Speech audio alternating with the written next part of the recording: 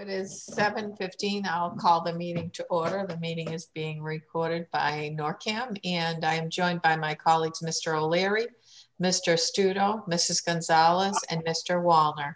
And we'll, and we'll begin with the, the Pledge of Allegiance. I pledge allegiance to the flag of the United States of America and to the republic for which it stands, one nation, under God, indivisible, with liberty and justice for all. Mr. Gilleberto, do you mind muting the attendees?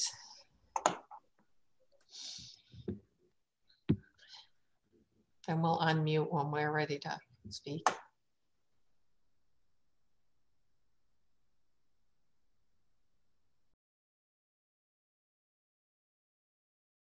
Madam Chair, you should be able to unmute yourself. All right, and we also actually need Mr. Stuto to unmute himself too. And our first order of business is the proclamation of Older Americans Month. And we have Mrs. Prenney who needs to unmute herself as well. And is there a proclamation Yes. to be read? All right, so we're gonna, we're gonna, let's hear from Mrs. Prenney first. And um, we can uh, then take a vote on the proclamation. Welcome, Mrs. Prenney. Good evening, everyone. It's nice to kind of see everyone. I, I can't believe another year has passed. Uh, so this is Older Americans Month. It's been a different kind of year for a lot of older Americans in this country. So I appreciate you um, reading the proclamation tonight. Um, again, I want to, um, as I said before my budget here, the, the older Americans are our heroes. They've done so much this year. Um, they were so resilient um, in trying to get by this COVID stuff. Uh, they're the ones most effective, and um, and they're our heroes because they're actually the ones that are already double vaccinated and trying to get out in the world. So um, hopefully, good things will still happen. And I want to thank you all for doing this tonight. Great, thank you, Mr. Stuto. Yes. Um, the pro Older Americans Month 2021, a proclamation. We have to vote first and then read. Oh, I then, think okay. That's how it works. Madam Chair, I move to proclaim May 2021 as Older Americans Month in North Reading and to read the attached proclamation. Second, Motion by Mr. Stuto, second by Mr. O'Leary. Discussion, Mr. O'Leary. why wouldn't we? Of course we're gonna proclaim this. Absolutely. Mrs. Gonzalez. You're in, you're on mute. Absolutely. Mr. Wallner, Uh, thank you, Mary, for bringing it forward, and we're glad to support it. Mr. Stuto. Yes. Yeah, and I say the same, Mrs. Prenney. This must have been one of the most difficult year for seniors to make it through. And we know how much our, how hard your staff worked with the town administrator to get messages to them, to reach out to them through phone calls, to coordinate rides, to coordinate vaccines. So this, this, this year above all, I think is, we do this every year and we're happy to do it every year, but this year above all is, is, it's a great opportunity to, to recognize our seniors in our community. So we'll Absolutely. take, so we'll take a, a vote on the motion. We have a motion by Mr. Stuto, second by Mr. O'Leary. Mr. O'Leary, Aye. Mrs. Gonzalez. Miss, Mrs. Gonzalez, you said aye. I can hear, I can, aye. Mr. Wallner, Aye. Mr. Stuto, Aye. Manupelli is aye. And can you read the proclamation, Mr. Stuto? Yes. Older Americans Month 2021, a proclamation.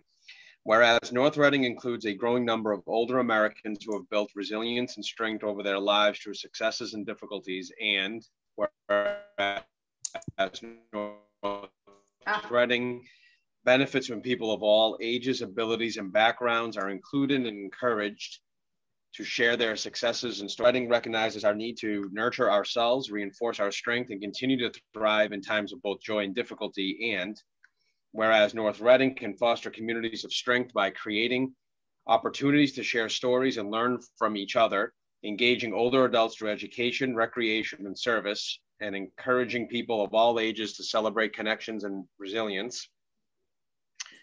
Now, therefore, we of North Reading, MA, does hereby proclaim May 2021 to be Older Americans Month, We urge every resident to recognize older adults and the people who support them as essential contributors to the strength of our community. Dated this 10th day of May 2021. All right, thank you. Yes, thank you. I, I would just like to add one thing. Today I had the privilege of going to, or talking about older Americans and speaking and telling stories. I had the privilege of going to an event at the Horseshoe today that the Lees um, hosted for the Fitzmaurices.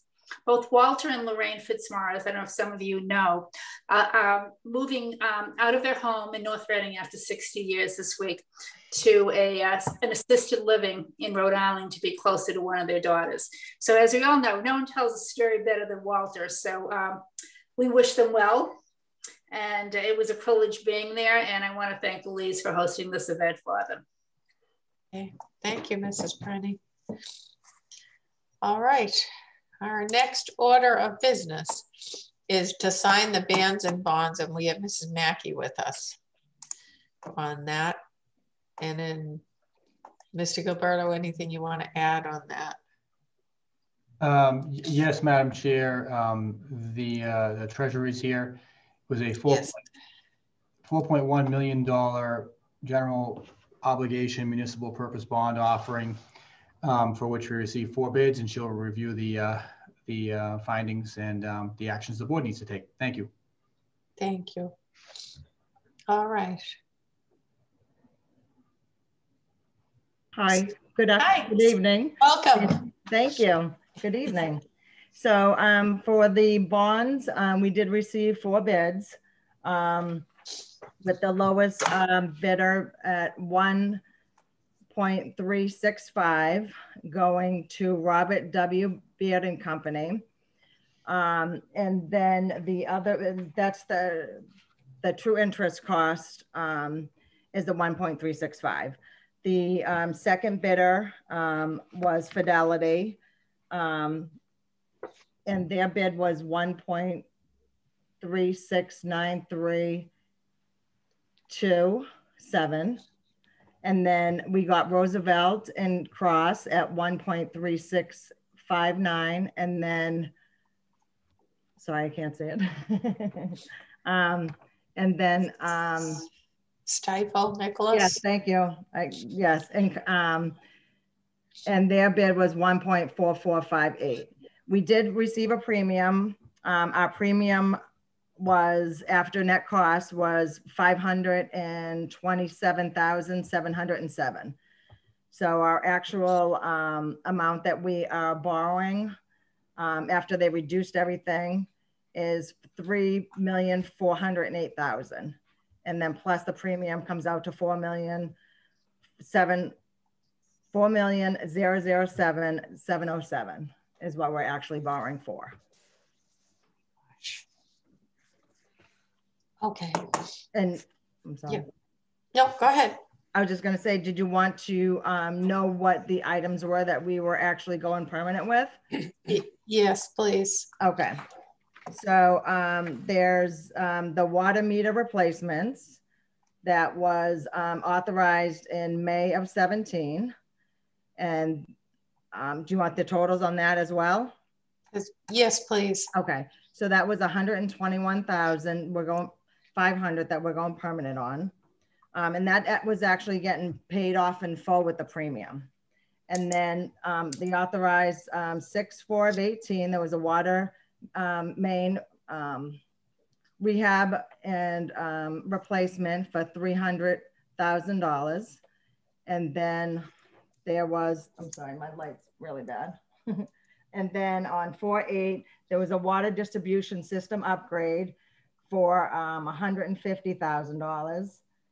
Um, 6 4 of 18, it was the water distribution and supply um, infrastructure, and that was 500,000. And then on 629 of 20, it was a water distribution up, upgrade system for 200,000. And then on 629 of 20, it was the ex- excavator replacement for $110,000.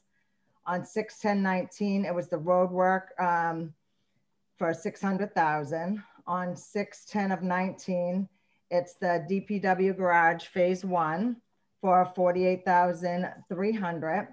On 610 of 19, it's the library clapboards replacement, repairs, excuse me, for 106, 176,525,000.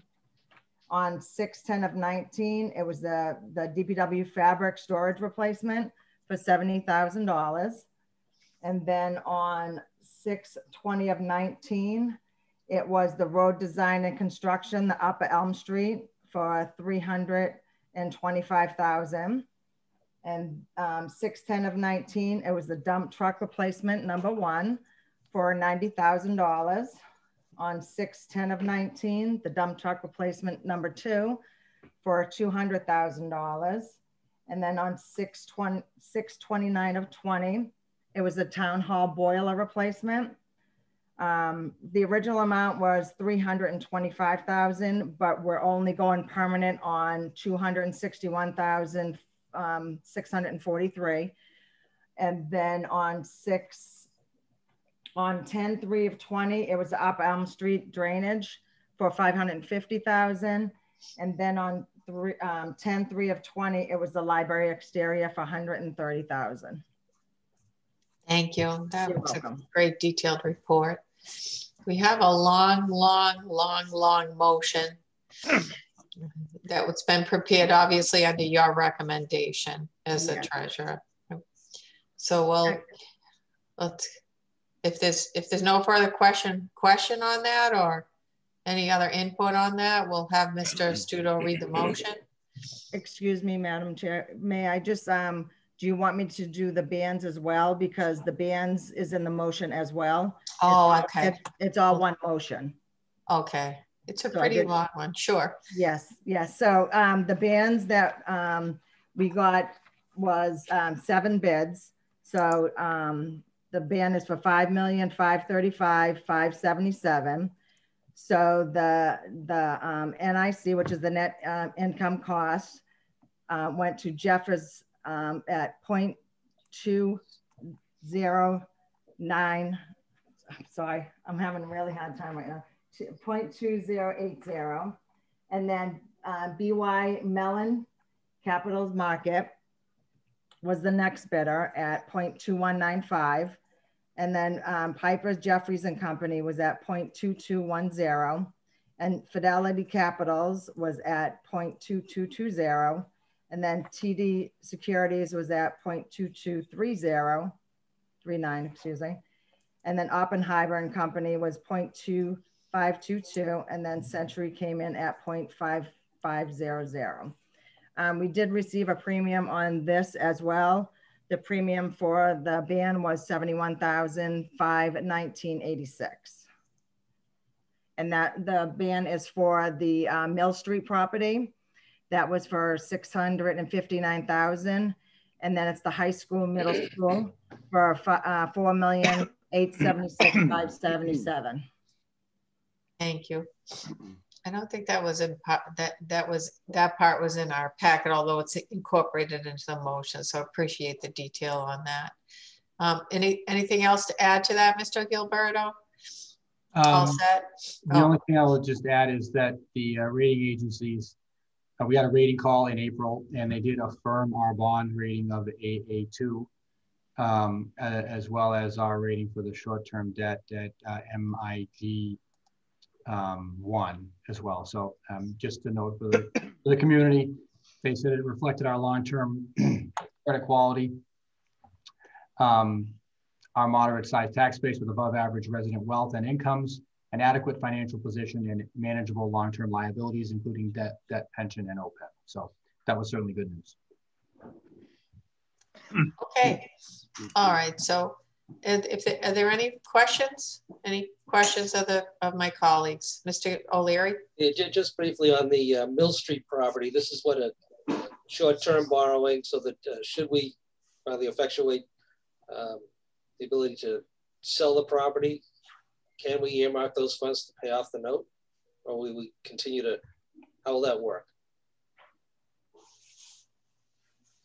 Madam Chair, may I? Yes, please. Um, yes, so that, um, the ban is only out for one year. So we didn't, we didn't go permanent with it because we, we knew that we were in, the- trying to sell off um, a portion of that land. So we didn't want to go permanent with that. That's why we only went with a ban. And if we do sell it, we can pay off the ban when it comes due um, next May. The ban um, comes due a year from now, May 27th, I believe, of uh, 2022. And then is it, is it our intention, maybe it's to, to the finance director, that that's what we would be doing, specifically earmarking the proceeds to pay off that specific ban, or is it just gonna be rolled in with, with everything else? This is Ms. Ms. Rourke. Through you, Madam Chair, to Select Board Member O'Leary, um, that is the intent. That's why we've carried it on a ban. Uh, if we had gone long-term on it and, um, had it bonded, we would not be able to use the proceeds to, to take care of that. So whatever the proceeds are from the sale, we can put towards the ban. Um, we, I just want to note, we have been paying down, um, on the ban because we've had it outstanding. Um, so we, that is coming from the water enterprise um, department's budget. Perfect, thank you. All right, so any other questions?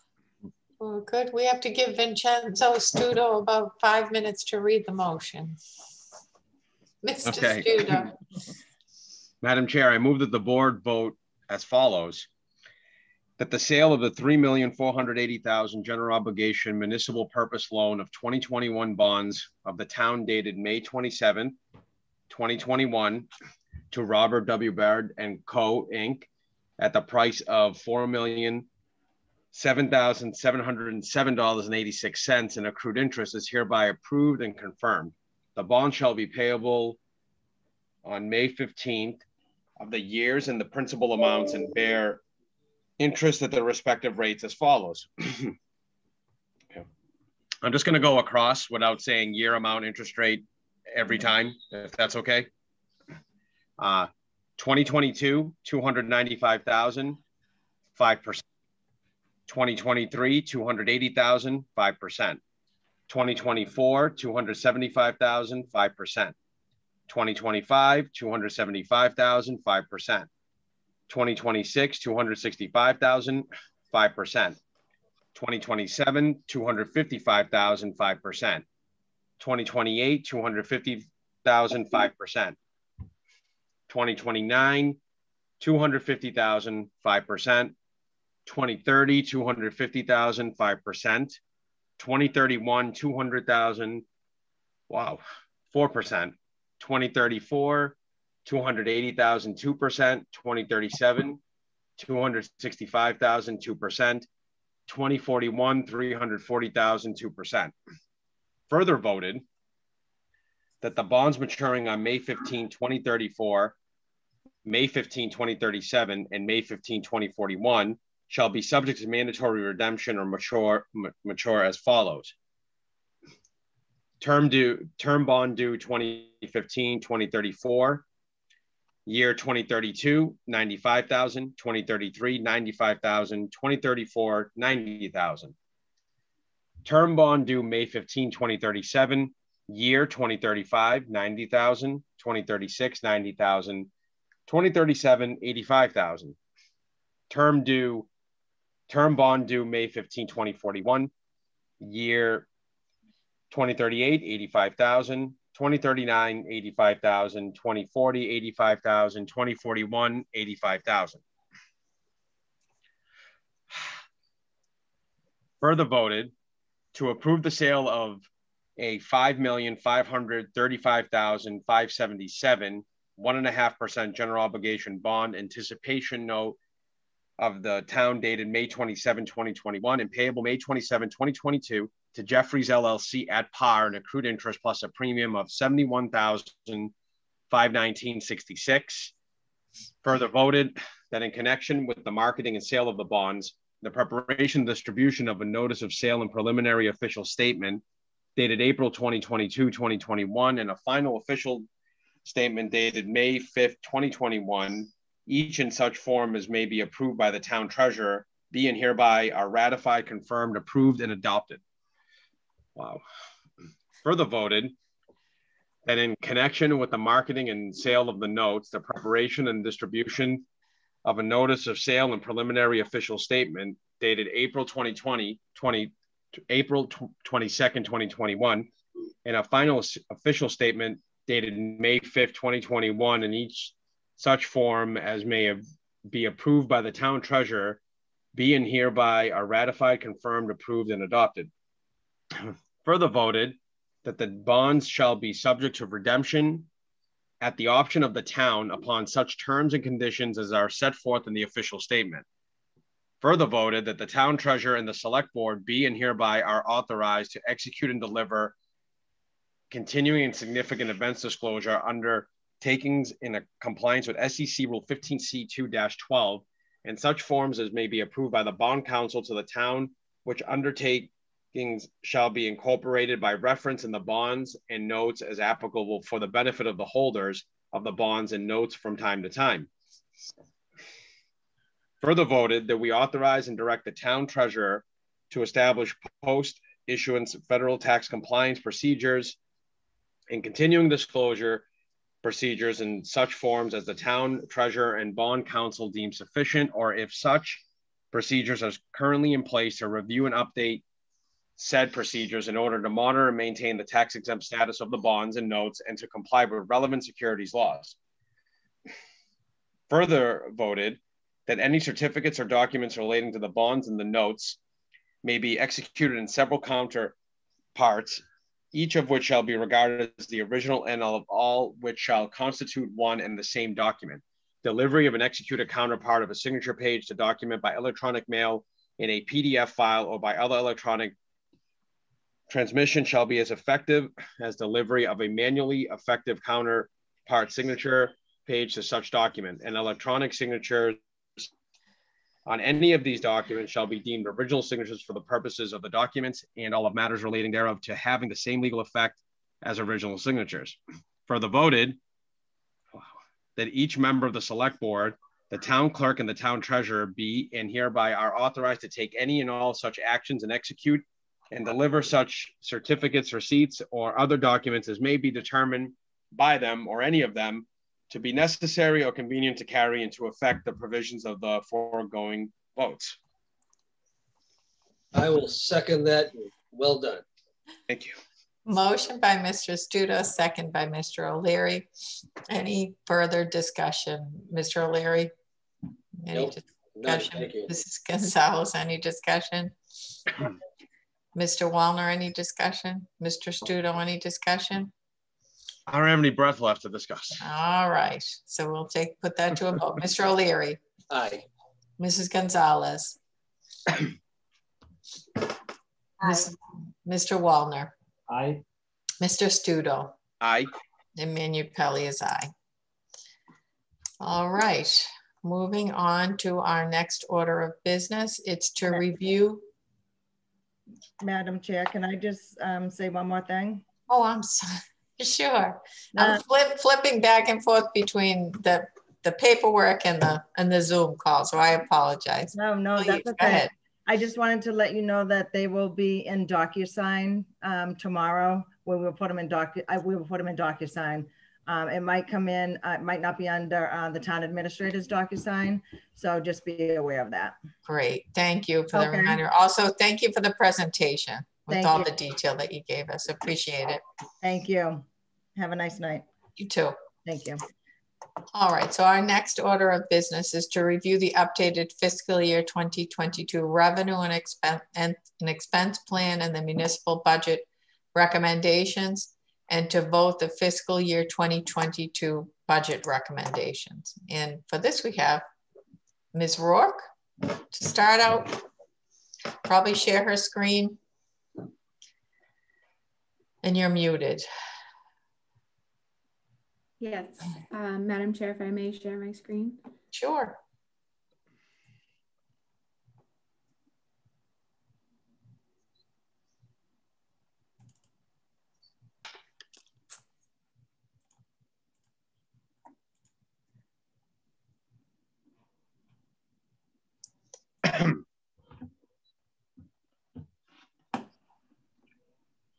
Is that view okay, Madam Chair?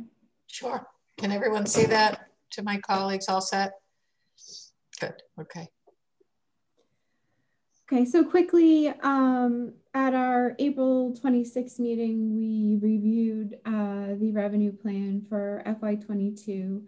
There have been a few changes uh, that have taken place since April 26th to uh, Friday, last Friday, May 7th, uh, I believe, or May 5th, whenever we had a financial planning meeting. And um, as the treasurer collector just reviewed with you the bans and the bonds, um, they were just sold and we received the updated debt schedules. So there needed to be a few changes in regards to some projects um, that we had borrowed for and our debt service for non-exempt debt needed to be updated. So those are really the areas that needed to be adjusted and were reviewed at financial planning. So it will be a very quick update on this. Um, so as I mentioned, um, there was an increase in our non-exempt debt service. So we needed to uh, find a way without harming the schools or the municipals operating budgets uh, as they had been balanced. So we we're able to um, increase the transfer from the Debt Capital Stabilization Fund by $141,723. And we can only increase the transfer from this fund in the amount that our total debt service is. And that's non exempt debt service and short term debt. That does not include exempt debt service. So we this was the maximum increase that we could go to. We had already been carrying 1.2 million. Now we've gone to 1.3, and I'll show that to you in the next slide. We were able to decrease um, the snow and ice uh, deficit amount that we carried uh, in the revenue plan under the fixed costs. We were carrying 325,000. We reduced that by 85,000.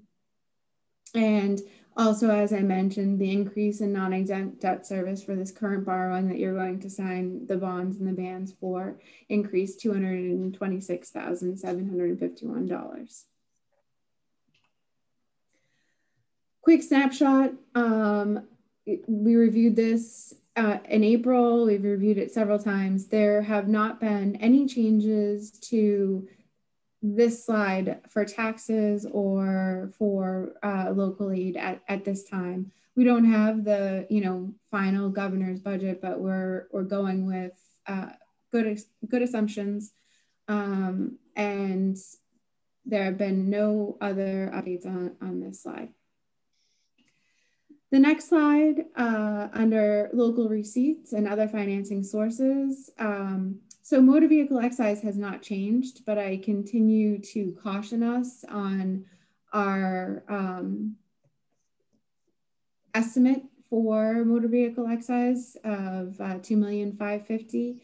And I just want us all to be aware of this. We are being um, much less conservative for FY22 than we were for FY21. So I want to just note that um, and have everybody be aware of that. And also on financing sources, um, as I mentioned, the transfer from the debt service stabilization fund um, was budgeted at 1,200 and it's been increased to 1,341. And you can also see it here. Um, we had added uh, a line item for the ARPA funds that are federal funding that are coming soon, but we have not allocated any of those towards uh, the operating budgets at this time. We are still awaiting guidance um, on those funds. As I mentioned, under expenses, debt service non-exempt um, increased by 226,000. And I just highlight the three um, non-exempt debt service items. So we have non-exempt debt, then we have the little school roof, which is non-exempt debt, and it's just separated um, for capital improvement planning purposes. And then we have short-term um, debt, which is ban interest. So those three are what total um, uh, for debt service. Um, non-exempt debt service. And then, as I mentioned, snow and ice deficit, we had been carrying 325,000. We reduced that by approximately 85,000. So um, the remaining snow and ice deficit will be funded with free cash, and we will see that and discuss that during um, the discussion on the FY22 June town meeting warrant articles. Just two other areas of caution that I've discussed previously is health insurance. So the participating funding arrangement and the health insurance contingency line, as well as municipal and school health insurance uh, line items. They are very tight for FY22. We trued up the budget and we left very little wiggle room um, in those line items. So I just want everybody to be aware of that in case, you know, um, there are multiple life events that take place amongst our employees in the coming fiscal year um, or we add new positions whatever whatever may happen. I just want everybody to be aware those are very tight uh, figures in order for us to be able to balance this budget. Um, and as reviewed on april 26th um, we discussed that we were going to fund DPW small capital with free cash, fund the fire department recruit training uh, overtime costs with free cash, and that will be held within the salary pool outside of the fire department's operating budget. We also will fund um, school one-time costs um, in the amount of $75,000 with free cash as well as school small capital items of $10,000 with, with free cash. And that's the update on the revenue plan. Um, I don't know if we want to stop and have questions now, Madam Chair. Oh, yes, or, that'd be great. Um, Let's just see if any of the my colleagues have any questions. Any questions, Mr. O'Leary? Not at this time, thank you. Mrs. Gonzalez? No, thank you. Mr. Wallner? No questions. Thank you. Mr. Stuto? No, we're all set. Okay. Uh, through you, Madam Chair, to the town administrator, is it okay to proceed? Oh, of course, right, Mr. Mr. Gilleberto? It is, but Madam Chair, what I would just say uh, as we transition to the next part of the discussion is, you know, you clearly can see our, our debt service numbers went up you know, we came up with a plan that, you know, we are, um, you know, that, that, that stretches a bit of our re resources and our reliance on free cash um, in order to preserve things to the extent that we can. Um, it did affect our approach in terms of recommending the timing on um, some of the recommendations for the budget um, for FY22. And I believe the finance director is going to go go through that um, at this point in time. Okay. Go ahead, Mrs. Rourke. So on April 26th, we reviewed the municipal operating budget and we reviewed it um, without the two items uh, that I just uh, mentioned being funded by free cash, which is the DPW small capital in the amount of $144,600 and then the fire department recruit training overtime in the amount of 119,331. And those items now you will see have been added back. We need to add those back in as they're part of the operating budget and they'll be listed in the omnibus warrant article. Uh, the funding source listed underneath those items will be free cash. So they you'll see a larger number on here, but don't be alarmed. It just includes those those two items. There also um, is uh, another shift um, of a position to the salary pool for the time being. And so that has been moved and I, I will review that. So, and it's very small again, so I, am sorry, um, but I will make sure that everybody um, receives a copy of this and we can put the presentation on the, the town's website as well. And some reading glasses with that. All right. Any so, questions? And, and, oh, I'm sorry, Ms. Rocky, please. I just wanted to note um, the one change that I mentioned, or the three changes I mentioned. One is that um, DPW small capital, you'll see back added in here. Um, and then the fire department recruit training overtime um, has been added to the salary pool as well as the um, assistant director position from youth services in the amount of $25,000. So we have added to the salary pool 119 331 and $25,000. So it's just a, a, shift up from youth services for the time being um, and also a shift um, that we had taken out that position, the overtime from the fire department's budget, and we've now added it with free cash into the salary pool. And I'll let the town administrator speak to some of our shifts. Okay. Mr. Gilleberto. Thank you, Madam Chair. Thank you, Liz, um, for putting this information up there. Um, you know, as the finance director described, uh, you know, our, our recommendation at this point is, you know, we have we have some, you know, we, we have this combination of having stretched our resources a bit further going into FY22 in order to sustain what we have and to restore the items that ended up being cut mid-year in fiscal year 2020, um, namely the project manager grant writer position the clerical assistants for the Veteran Services Office, um, the position in um, the Treasurer Collector's Office. You know, those are, were and have been the priorities. I think we were hopeful that we would be able to take steps in the direction of um, funding um, the Assistant uh, Youth Services Director position. We're recommending that we put that funding into the salary pool while, while we see how the reliance on the federal funding plays out and while we also await an answer on the youth substance abuse uh, grant um, as well, which is pending. Um, and Liz, I believe the salary for the youth substance abuse grant coordinator is also going to be in the salary pool.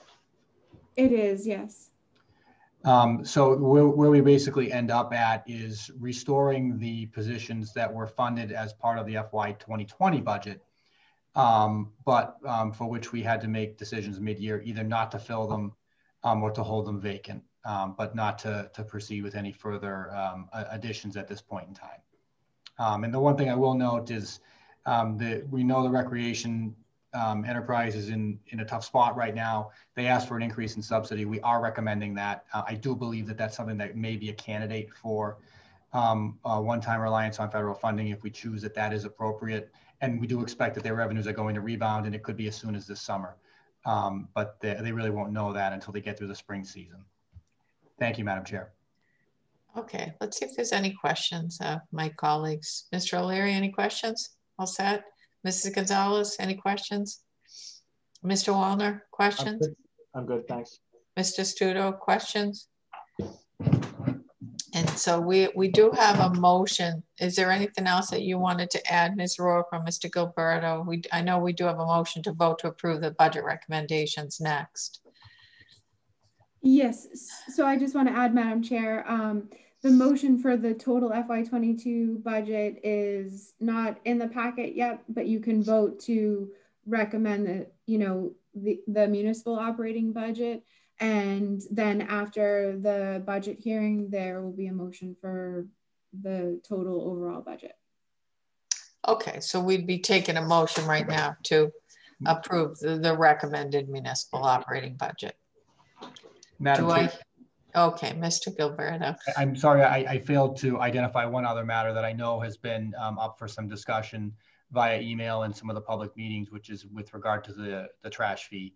And I know that there's been some questions that have been raised, and I, I do want the board members, the residents who have expressed um, an interest in the matter, and the community as a whole to know that we are looking, you know, further at the structure of the um, the trash program and the way we finance it. Um, we you know we've been given some some information from the Department of Revenue, and we're reviewing that with Town Counsel. Um, you know, if there needs to be any sort of adjustment, which I, am not certain that that will be the case at this point in time, we'll recommend that at a later time, and whether that occurs, um, you know, as a an amendment to a motion on the budget um, or in some other form, the board can decide at that point. But right now, we're recommending the budget as it's been discussed since the Saturday um, budget hearing and uh, reflecting the uh, the trash fee um, that was voted by the board uh, a few weeks ago as well. But I, do want the board to know that we are we are looking into that matter, but we do we just don't have any firm you know um, modification to re, to recommend at this point in time. And we're not certain that one will be required either.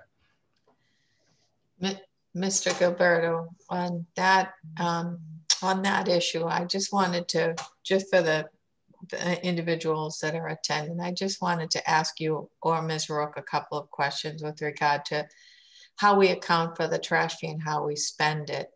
In, in a general sense, when we get revenue in, there's a split between the, the total receipts between the school for school operating costs and the town.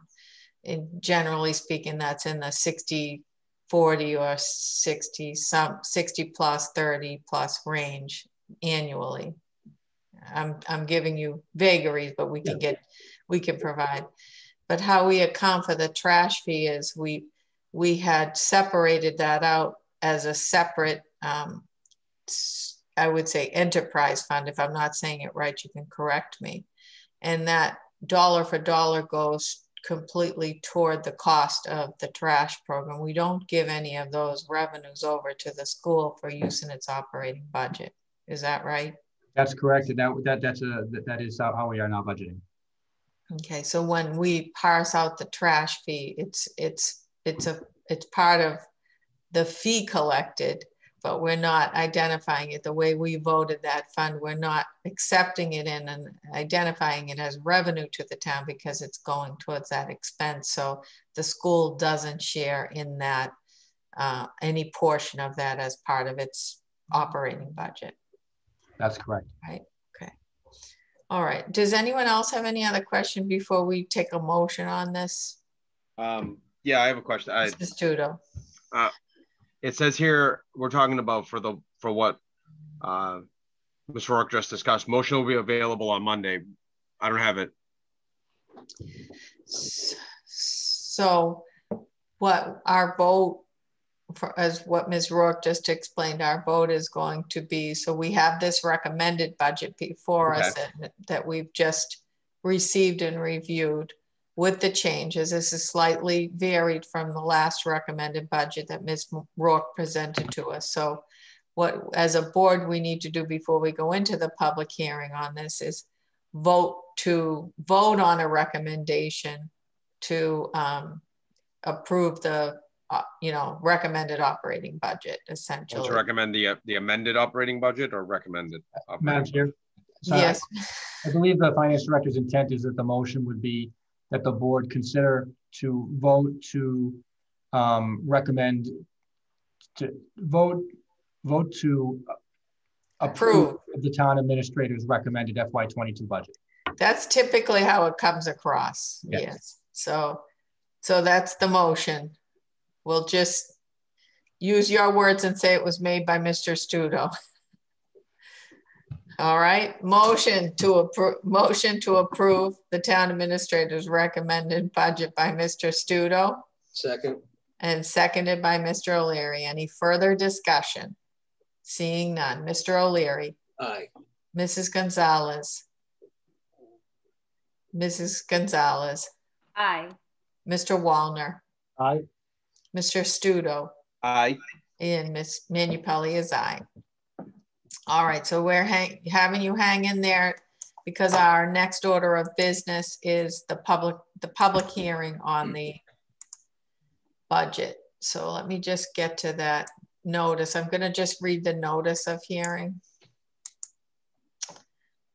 to the town of North Reading. Notice of fiscal year 2022 budget informational hearing. The North Reading Select Board does hereby notify the residents of the town of North Reading that an informational hearing on the fiscal year 2022 budget anticipated to be considered at the June annual town meeting will be held virtually Monday, May 10th, 2021, 7.15 p.m. I'm only slightly off on that one.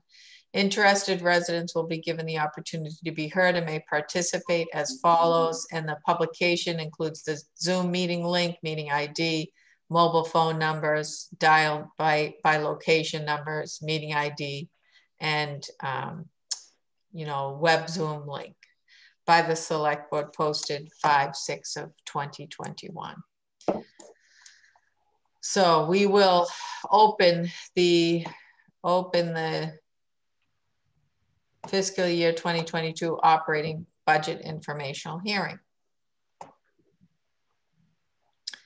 And see if anyone who is attending has any questions, comments. And if you do, if you could please raise your hand or put a comment in the chat room. And I see none, Mr. Gilleberto. I, uh, I'm not seeing any, any hands raised either physically or, or virtually. Okay, And Madam Chair, I will note that we normally have a presentation we go through at this hearing. I, I do think we've gone through the details a number of times over the past few weeks. So Mhm. I know the finance director was prepared to present information. I'm just not sure that it's necessary at this point. Is shaking her head.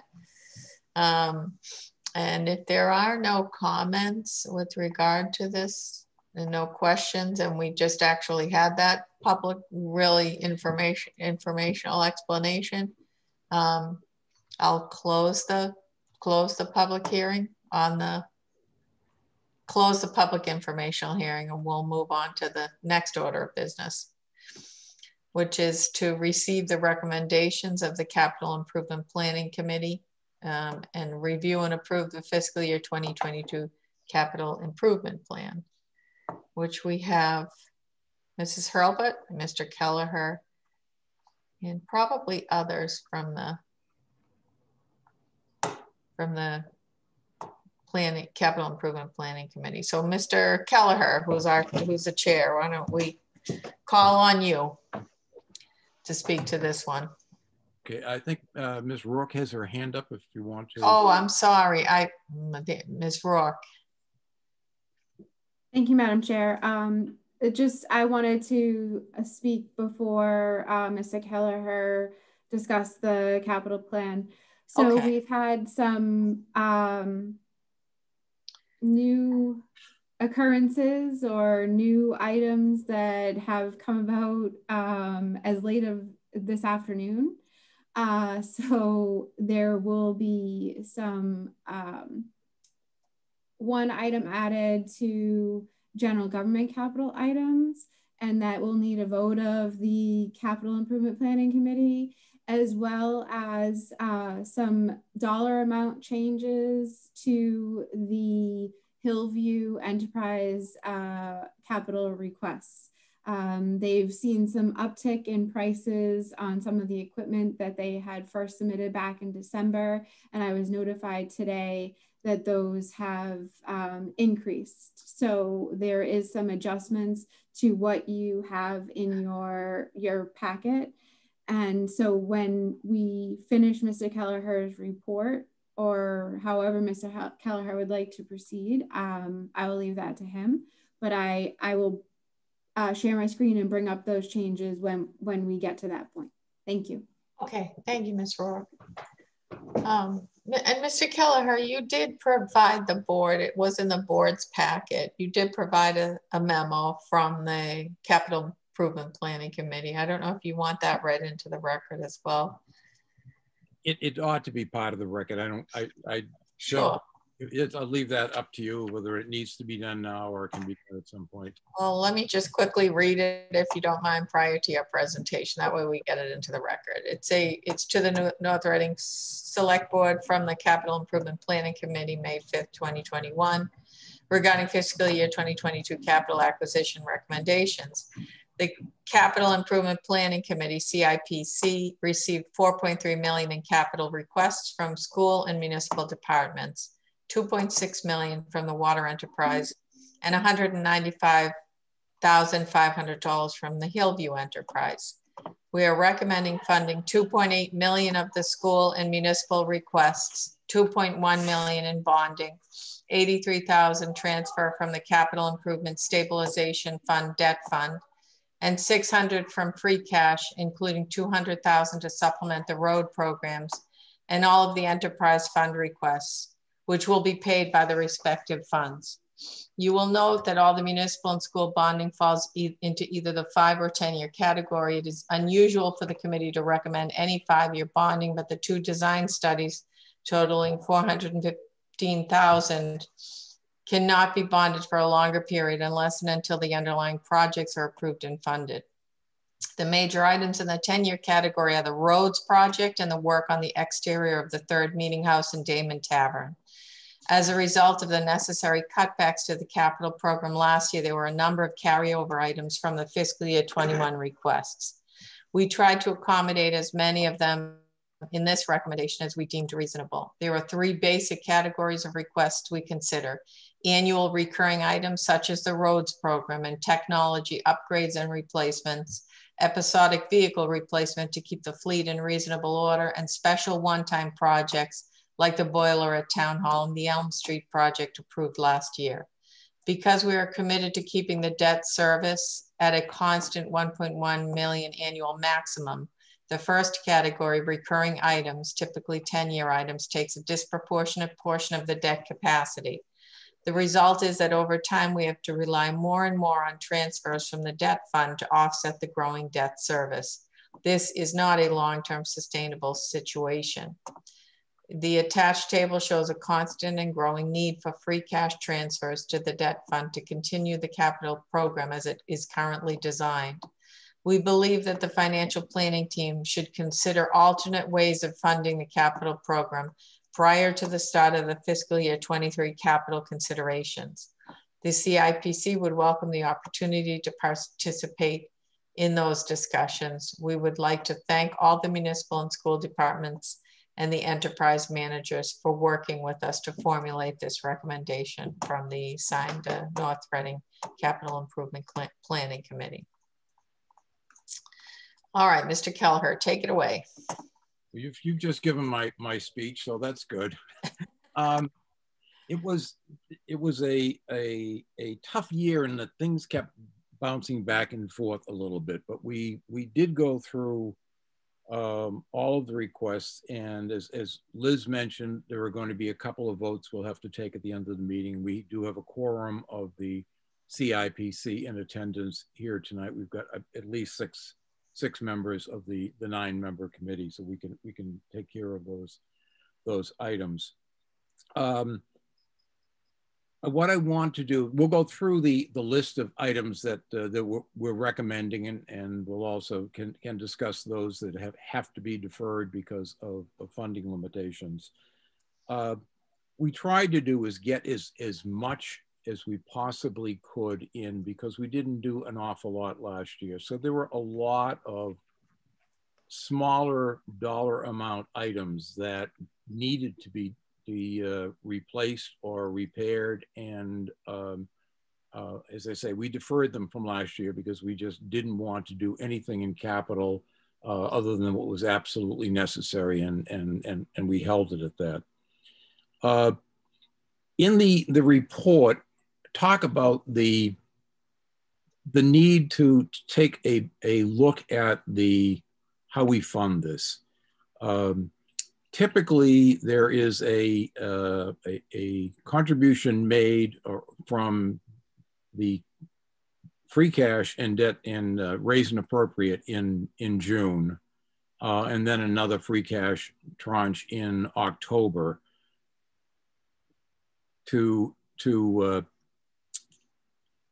a fund the projects that we're doing to a certain extent and to build a reserve in the debt stabilization of the, the, the capital improvement stabilization fund. The fund is down under a million dollars, um, and and we've been trying to keep it at a million. But last year, you may remember, we did we used it to fund a few items directly, so that they wouldn't have to be bonded or be a, a, uh, a charge to the operating budget. So we, we depleted the fund a little bit last year intentionally. I think was the right thing to do to get some, some uh, needed equipment uh, in, in place during, during the pandemic. Uh,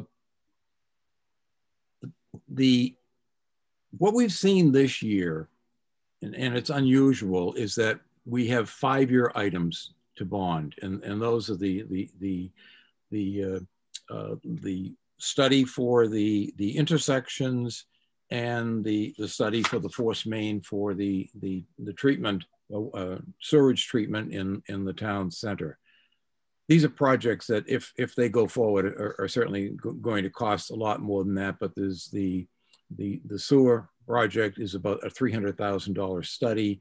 The full project, I don't know what it will be, but I'm sure it'll be in in the millions Um, because those projects haven't been presented or approved, um, the bonding, it, we're, we're, limited to a five-year bonding on these items. So we're, taking five, five, $415,000 and paying for that over five years. And that, that's a pretty quick burn on the, on the fund. The other part is that we've got um, in the order of $1.7 million in, in bondable items that we're, we're recommending, and they're all 10-year items. We don't have any in the 15, 20, or 30-year category. They're all in the 10-year category. Um, which includes the roads and some some work being done on on on a couple of buildings in towns and and a whole bunch of other uh, other items. Uh, I mentioned in in the the the memo to to the select board that the 10 year items take a disproportionate bite out of the the available debt service. And we're seeing it this year. I think we're going to continue to see that um, for for a number of years to come. And the only way to, to do all the work that we want to do, which is somewhere north of $2 million a year in, in projects, um, is to increase funding. And the only way we can get funding at the moment is to increase um, contributions from free cash. Uh, we, we have a year this year where there is there's a, a, fairly good supply of free cash, but it's not, not dependable. I know how tight the operating budgets are this year and we probably are not going to be producing the kind of free cash that we have produced this year. So I think we need to sit back, look at the program over the next the next six or eight months before we get into the, the next round and decide how do we want it to work? Uh, what can we, we possibly do uh, to keep the programs going uh, um, that, that we're, we need to do? The road program is very important and, and a, a a good plan has been put together to, to, to improve the quality of the roads. But there are a lot of other things that, that go on as well. And so we've, we've got to look at uh, how we're going to fund it. And I don't think that looking to free cash as the, as the, um, the balancing factor in the out years is is going to going to going to work for us. Um, so with with that as a, a, as a preamble, I will I, I think what we're doing this year is fine, um, but we do we do need to to look pretty closely and to try to to find some other ways of, of doing business. Um, and I don't know what those are, but I think that we we need to explore them. All right. Um, what I would like to do, if, if you can share the screen, Liz, is to put up the what we call the ranking sheet. Um, and what that is for those who aren't on the committee, we take all of the projects that are presented to us. We interview and, and speak with the department heads that are making the requests for these, these, these items. In prior years, we, we would go out and do a, a, a, a field trip to take a look at, you know, trucks that, that are, are vehicles or whatever that needed, needed some uh, um, replacement or, or some repair uh, we didn't do that this year because of COVID. Um, it wasn't it wasn't appropriate to be doing that kind of a, of a, a, walk around and, and, and gathering in groups. We've done everything by Zoom. So we relied on the, the, uh, the information that we got from the managers and many of the items that were, were on there have been on before. So there were, were vehicles that we looked at and, and didn't recommend in prior years and that guess what, they're one year older now and and they're they're they're they're more in need. Uh, so what we then do is each of the members of the committee individually ranks the items that have been presented on a scale of, of zero to five, five being the most imp important and zero being the, least important.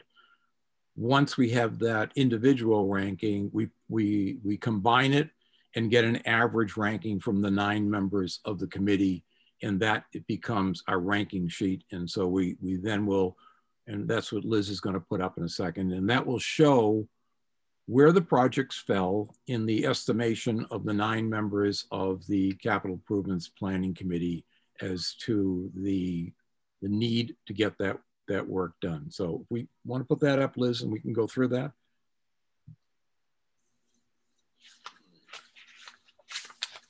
And I can do, uh, speak as, as long or as short as you want on individual items. I think the the, the select board has, has, gotten the package and has, has looked at all of these things.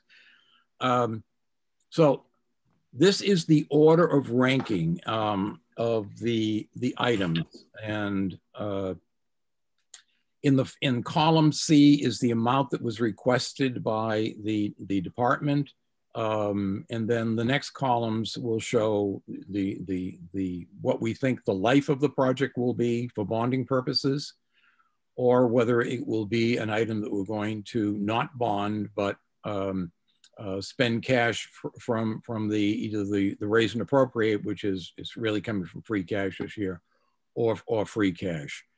So um, as you can see right off, the top, the the second item there, and which is ranked as the second most important, is the road rehabilitation and reconstruction program.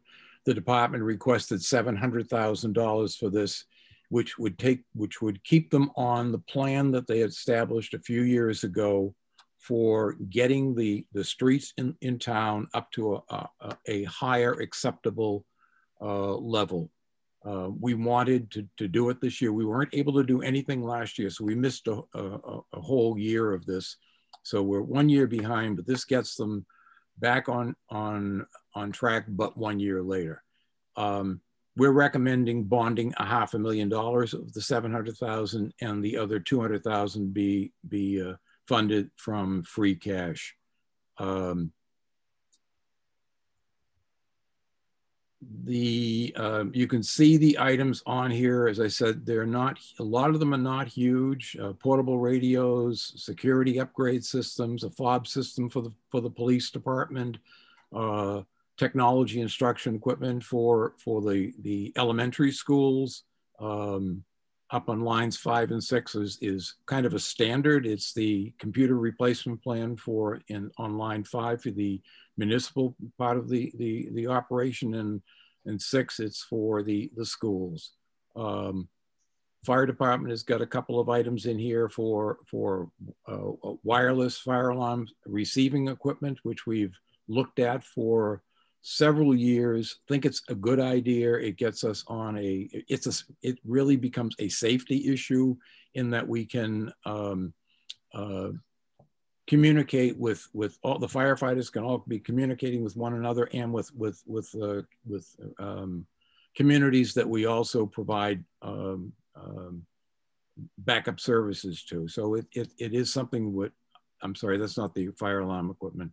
That's the, the, the portable radios. The fire alarm receiving equipment is to get us on a wireless system so that the call boxes can be read wirelessly rather than by, by only by uh, a, uh, a wired system. Um, eventually what we're going to see here is that the call boxes that are in municipal buildings and in uh, other areas are, be replaced um, and that we, we are, it, the whole system is wireless. Uh, to do that with all of the town buildings is probably about another $100,000. And that I expect we'll be looking at that either next year or the year after. Um, the downtown sewer force main system I've already, I already talked about. That's a $300,000 project, which we can bond for five years. There are some changes to the, the uh, uh, uh, repairs to the, the senior center and the Damon Tavern, um, window replacements, sill replacements, some painting and scraping, you know, things that we have to do to preserve those buildings. Some security upgrades in the in, in town hall, um, some repairs at the little school, uh, the salt shed at, at the DPW yard. Uh, we've been looking at this for the last three years and we're, we're, we are finally going to recommend doing it. We knew that it needed to be done. And you can go down the list. I don't think I, I need to, to, to re, read them all, but you can go down the list. Where that got us on line 27 was to get us to the, um, uh, the putting the, the restrooms and shower facilities into the firehouse um, in the, the, the, I'd say eventuality, but probability that we'll be hiring uh, one or more female firefighters in the, the not too distant future, and we don't have facilities for them. So we, we need to do this. The time to do it is not when we're out of time, but to prepare for it, get it done, um, and, and, and have it in place when we, when we hire uh, the, the first female firefighter. Um, Liz had mentioned that there is a, a change, and the change is that the item 28, the sidewalk repair and tree removal, uh, originally was not in our recommendation. Uh, it will be now, and we're going to be voting tonight to fund that with free cash. On line 29, so everything in that in column E uh, from line 29 above total $558,000. These are the items that we will be um, uh, paying for in, in cash. Um, and they're, they're built into, into the, the budget. So what in the, in the memo, I said that we had received $4.3 million in requests and uh, we're recommending uh, 2.8 million the 2.8 million at, at that point was the 2,125,000, the 50, 518, excuse me, the 558,000 and the extra $200,000 for the roads. A lot of numbers, but you can do the math if you feel so inclined. We'll be increasing that by another $75,000 if we vote on that, that this evening. So items below we lost it, Liz. Okay, items below that line 29 were items that we could not recommend this year for lack of funds. They, they will be back again um, in, in, in subsequent years. Um, in, and the, the, the, they include some equip, some uh, vehicles, um, the sidewalk phase, phase one of the sidewalks on Central Street, um, the, uh, some security upgrades, um, uh, and the uh, turf field. The turf field came up late in in the in our discussion, um, and the field has been down for about 10 years and will need to be replaced either next year or the year after. We're not sure. It's it was was was assessed this year and found to be in in in, in good working shape and poses no, no, no danger to any of the people using the field. So we've deferred that for another year. It'll be reevaluated next year. Uh, if it needs to be replaced, then, then we're going to have to discuss how, how it's going to be going to be funded. But um, as you see, there are a number of items. Uh, if you go down, Liz, just slide down to the bottom of that page a little bit. Yeah. So there were almost 4.3, no, up, up a little bit spec more. Okay, about $4.3 million in requests, and we're recommending uh, 2.9 million to be funded. Um, for Hillview, there are, there are 250,000. When we looked at this before in, in, in my memo to the select board, it says 195,900. So we're going to have to re revote that this evening as well to increase that to um, $250,000. And then the um, water department, the water enterprise, you can go down a little bit more, Liz. Of 2,199, I think when we voted this, we voted um, an, an extra $425,000. So we're gonna, we'll have to revote this um, we had double counted the painting of this of the the storage tanks. We had an item in there for 600,000, which is the correct amount. There was also an item in there for 425,000, and that was an amount from last year that that got carried over into this budget, but it it it, it was duplicative of the the uh, the needs that that are going on. So we will need the committee will need, need to revote the water enterprise capital uh, and reduce it by $425,000. Um, so that's what we're what we're recommending, um, and the the um, debt service will be maintained at the $1.1 million um, level that, that has been established. Uh, and we will do that by recommending transfers as necessary from the, the Capital Improvement Stabilization Fund. Questions? Okay, thank you, Mr. Keller. Any questions? Mr. O'Leary? I just, uh, again, I didn't have the uh, opportunity to, to sit through all the discussions and see all the presentations. that just um, a little second guessing here in relation to the intersection study and analysis at $115,000, how that would be more of a priority than some of the other items. But you know, other than that, again, I have, I, I have sat on the uh, capital improvement uh, planning committee and a lot of time and effort is put in and um, it's an interesting process in relation to, to rating it, and I understand how it works.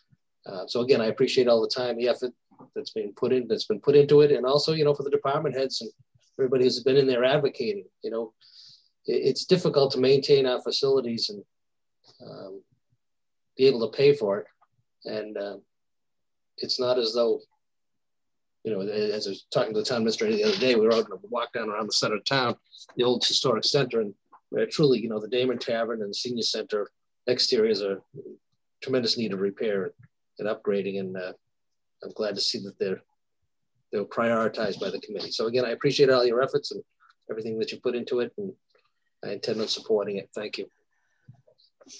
Thanks, Mr. O'Leary. Uh, Mr. Wallner? Um, just one question, the turf field, are we talking about the new, I know you're not gonna fund it this year, but we're talking about the football field, basically? Yes. And it's already needs to be replaced or repaired? It um, it will need to be replaced. It it is approaching the end of its its its useful life, whether that's next year or the year after. It is uh, it is approaching it. Um, the bids that they got this year that they that they shared with the committee um, um, have a life of somewhere around ten years.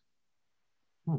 So it, uh, it we were we were a bit taken back. So we we, we still think of it as brand new. Actually, it's about 12 years old. it looks, it well, still looks brand new, but anyways, um, who am I? All right, thank you. That's the only question I have. Mr. Stuto? Nope, all set. Thank you. Thank you for your work. I know this uh, seems like that a lot went into this. Mrs. Gonzalez? You're muted. I was just as surprised to hear how old the turf field was, Mr. Warner. it went by fast. Um, thank you. Thank you for all the hard work and that's gone into this.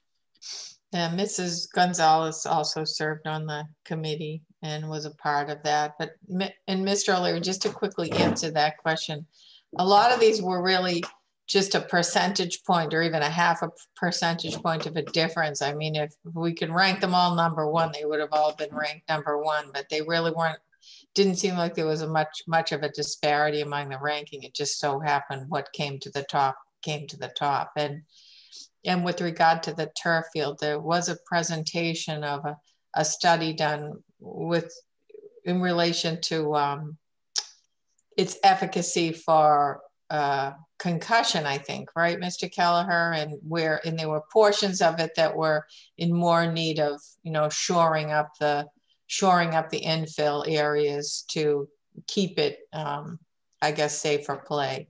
So I think that's that's more of that's more of a concern that I mean it's safe for play. It's not. I'm not saying that it's not safe for play, but that's the reason. Part of the reason why it has to be replaced. Um, you know, restored or replaced. It. At least that was my understanding of the presentation. They're going to re redo that study again next year, and that will inform the, the what what the need is or the timing of the need.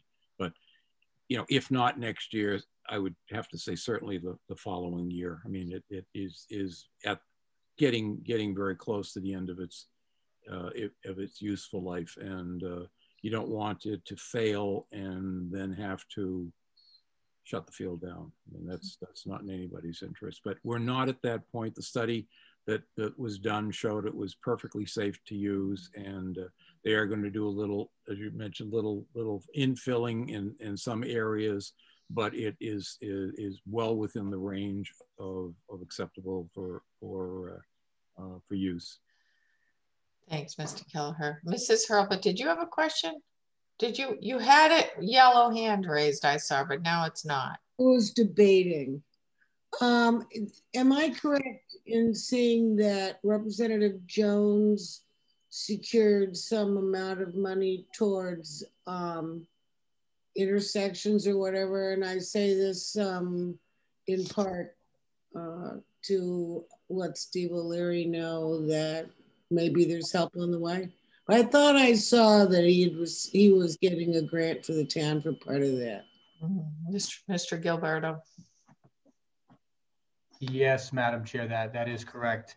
Our Representative Jones did secure uh, an earmark, um, or two earmarks actually, in the House approved version of the FY 2022 um, state operating budget um, for uh, the intersection uh, analysis and also for um, I believe, device replacement in the public schools as well. Um, so th those may be resources that, that defray the need um, for the capital project um, should they survive the Senate and then ultimately the conference committee and the approved budget. Okay, any other questions? We're all set. Okay, so now we're going to take a motion. Mr. Stuto? Ma Madam Chair, through you. Oh, Excuse me, Mr. Gilleberto. I, I believe the committee uh, has action to take just prior to your vote, if that's uh, okay. Oh, a committee vote, yes. So for the members, for the record, for the members of the capital improvements finance committee, the members in attendance are Miss, and Abby. Mrs. Mrs. Hurlbut, Mr. Kelleher, Mrs. Gonzalez, Mr. Gilleberto, Ms. Rourke. I don't, is Ms. Rourke still with us here? Yes. First green. Yes. Okay, Ms. Rourke and Manupelli. And uh, is that everyone that's in attendance? It is, yes. Okay. That would be six of the nine members, so we okay. would, we would have a quorum. All and, right. And so we, we are posted. Madam Chair, I'm prepared to offer a motion for the committee if it's so willing to entertain it through you to Mr. Gallagher. Yes, please. Um, Mr. Chairman, Mr. Kelleher, I um, would move that we modify the recommendation to the select board for the fiscal year 2022 capital improvement plan to add sidewalk repair slash tree removal for DPW engineering in the amount of $75,000 to be funded with free cash and to modify the Hillview projects as follows. Increase green speed roller to $24,000 increase greens aerator to $32,000, increase greens walking mowers to $39,000, increase greens triplex or similar mowers to $45,000, increase cart path paving and related costs to $65,000, increase utility vehicle to 20, I'm sorry, um, strike that last one, and add bunker restructuring in the amount of $20,000. Second. Thank you, Madam Chair. Uh, there is one one more I think we do have to make, uh, Mr. Gilleberto. I think we have to revote the amount of the, the water enterprise. We had originally voted uh, 2,624,379 and the amount should be 2,199,379, um, removing that erroneous $425,000 painting project on the, uh, uh, the water towers. I will add that to my motion. Oh, Mr. Kelleher, Mrs. Rourke has her hand up. I also just wanted to note that one of the funding sources uh, for water changed to Water Infrastructure Stabilization Fund um, from authorization to borrow. Uh, the replace the 2005 International Dump Truck number 42 in the amount of $105,000.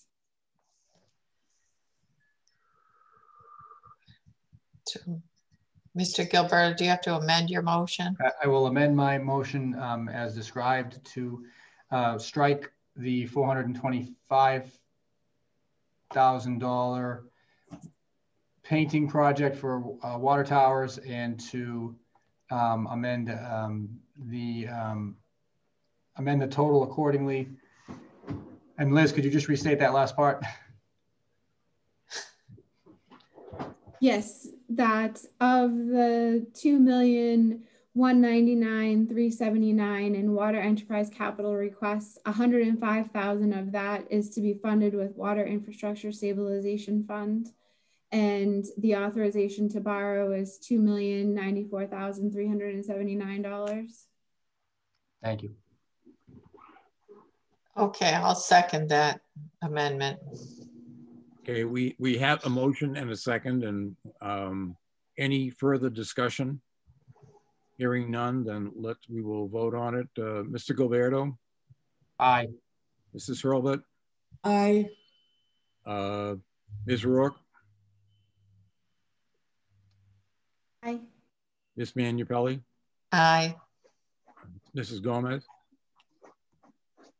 Gonzalez. Gonzalez, I'm sorry. Mrs. Gonzalez, I apologize. And um, I vote aye as well. Okay. All right. So it's as as a as amended. I think that's as a as amended this evening. That's the recommended um, recommended capital expenditures. So do I have a motion, Mr. Stuto? Yes. Madam Chair, I move to recommend to, to town meeting the FY 2022 capital expenditures as recommended by the Capital Improvement Planning Committee. Second that. Motion by Mr. Stuto, second by Mr. O'Leary. Any further discussion? Seeing none. Mr. O'Leary, Aye. Mr. Stuto, Aye. Mr. Wallner, Aye. Mrs. Gonzalez. Mrs. Gonzalez Aye. and Manupelli is aye. Okay, thank you.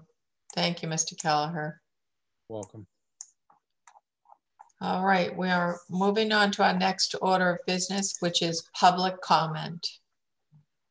And have we anyone in attendance? If you could raise your hand or put your, let us know in the chat room. And I have Mrs. Coolidge Stoltz has her hand raised, so if you could please unmute yourself. And just state your name and your address for the record, please. My name is Elizabeth Coolidge Stoltz, and I live at 2 Gillis Drive in North Reading. Please, go ahead. Um, after you've been addressing the town's challenges, I apologize for publicly raising another tonight, but I need to speak about the 40B proposal for 20 Elm Street in the context of the fact the town filed for safe harbor in August 2019. And we are now entering the end game for adjudication of the town's safe harbor claim. Um, and my family has been caught in the crosshairs in that. So I'm speaking on behalf of my family and the hundreds of others who are at the point of the town spear. One of the two ways to meet the state's goals for housing is through the general land area minimums, the GLAM criteria, because the state says that each town should have at least 1.5% of appropriate land in affordable or subsidized housing. When the town filed for safe harbor in August 2019, the numbers provided by the state for North Reading indicated that we did. The developer's lawyers filed an appeal immediately because he would not accept no as an answer.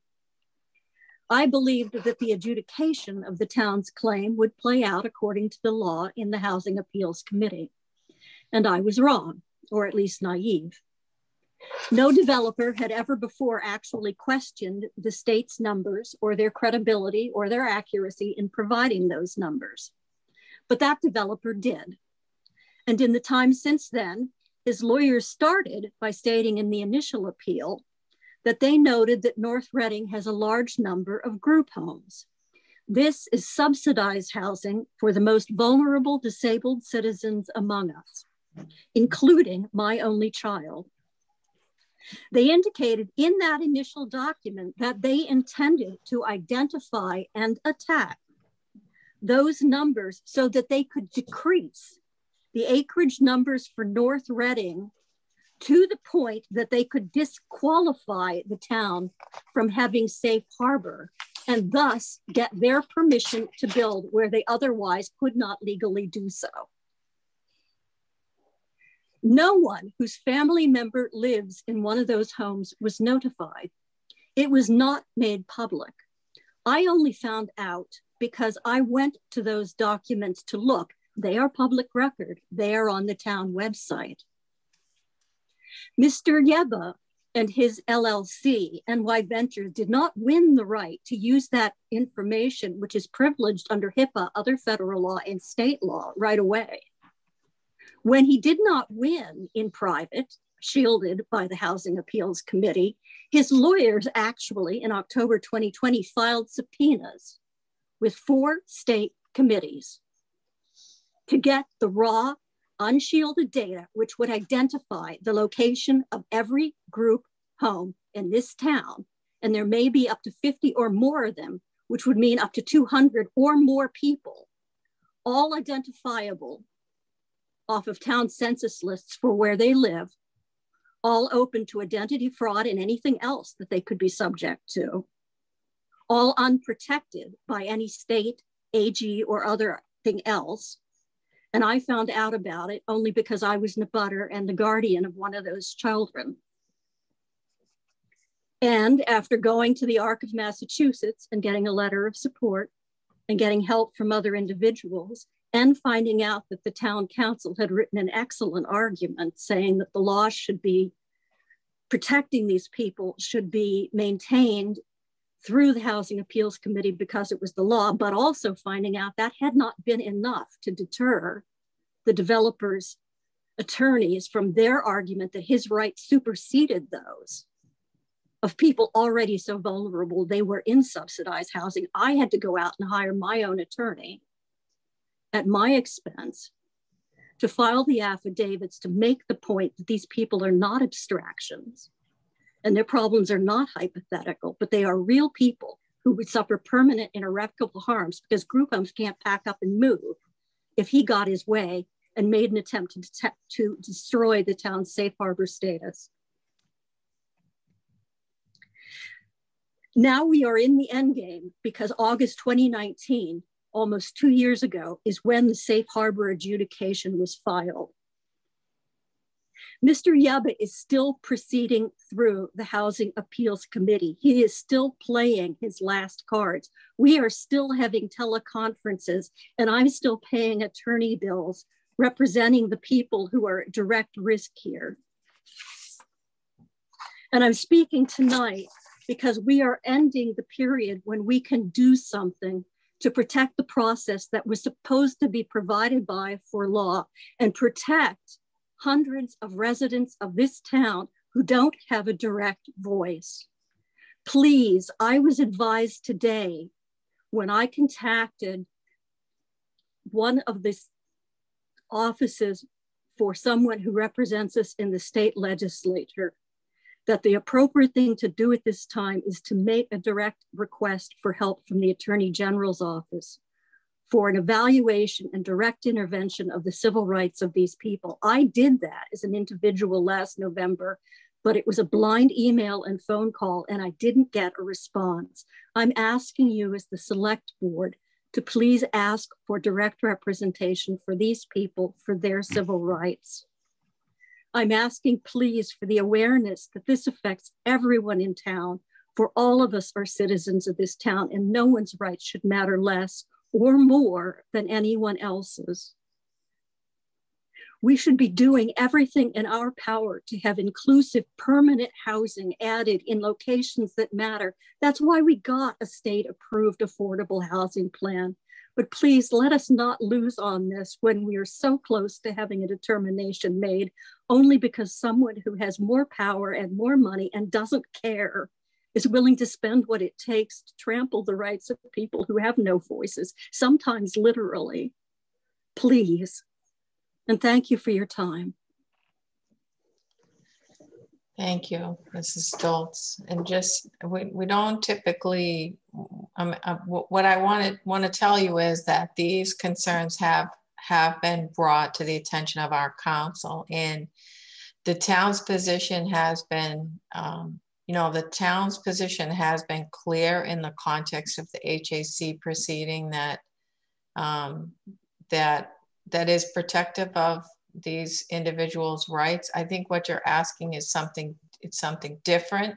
And I think given the posture of the HAC, that if you if you went back to the AG's office again now, that might be different given given the HAC's decisions and the town's opposition to what the HAC is is um, permitting here. I think we are we're in solidarity and alignment with your position on this matter, even though you have a direct, you know, you have you have a direct um, interest at stake. But we are fighting. Um, you know, we are we we are standing and in defending the position that the calculation is a calculation. It shouldn't be peeled back in any way because it was provided by the state, and we are, um, you know, we are keeping to that keeping to that position in the proceedings. But given the decisions that have been rendered, it might change the change the position of the AG to come in and step in to help you. Um, and, and that might be something to go back to, but we are, we are bringing these concerns to our counsel um, that you're raising to us this evening that you have raised to us previously. So thank, thank you for, for coming to talk with, talk, talk with us. I don't know if any of my other colleagues have anything to add to that, but Mrs. Gonzalez? Just that as a mother, you tugged my heartstrings, and I'm just whatever we can do. Uh, I mean, absolutely. Like we are aware, as um, as Mrs. Manupelli just said, we are aware of all of this. We know what is happening, but of course, whatever we can hmm. do, we will do. We're on the same page. Okay. I guess my question is, what can you do? Because I mean, this has been ongoing for years and it took well over $10,000 of our money to actually get anything accomplished. And I don't have endless funds to keep sinking in this. Um, I, I don't think that we're going to be able to comment because it is an active case. And I don't think we're going to be able to comment about legal strategy or um, things like that in this context. But that's fine. That's an answer. But ha- Thank you, you know, very much.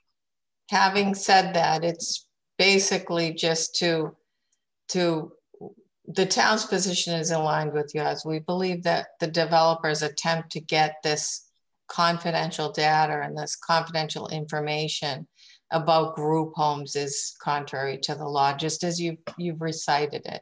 That is the town's position, and that's the position that the town has asserted and will continue to assert. That's um, fine. So then thank you very much with your, your position in that regard. Thank and you. Just one more thing. I think Mr. O'Leary might have had his hand raised. I don't know if there's anything else you wanted to add, Mr. O'Leary. No, no other than again, uh, when uh, Mrs. Coolidge Stoltz uh, approached us the other day uh, with, with, a lot of these details. Um, it, it is outrageous as to what's occurring here, and it's wrong.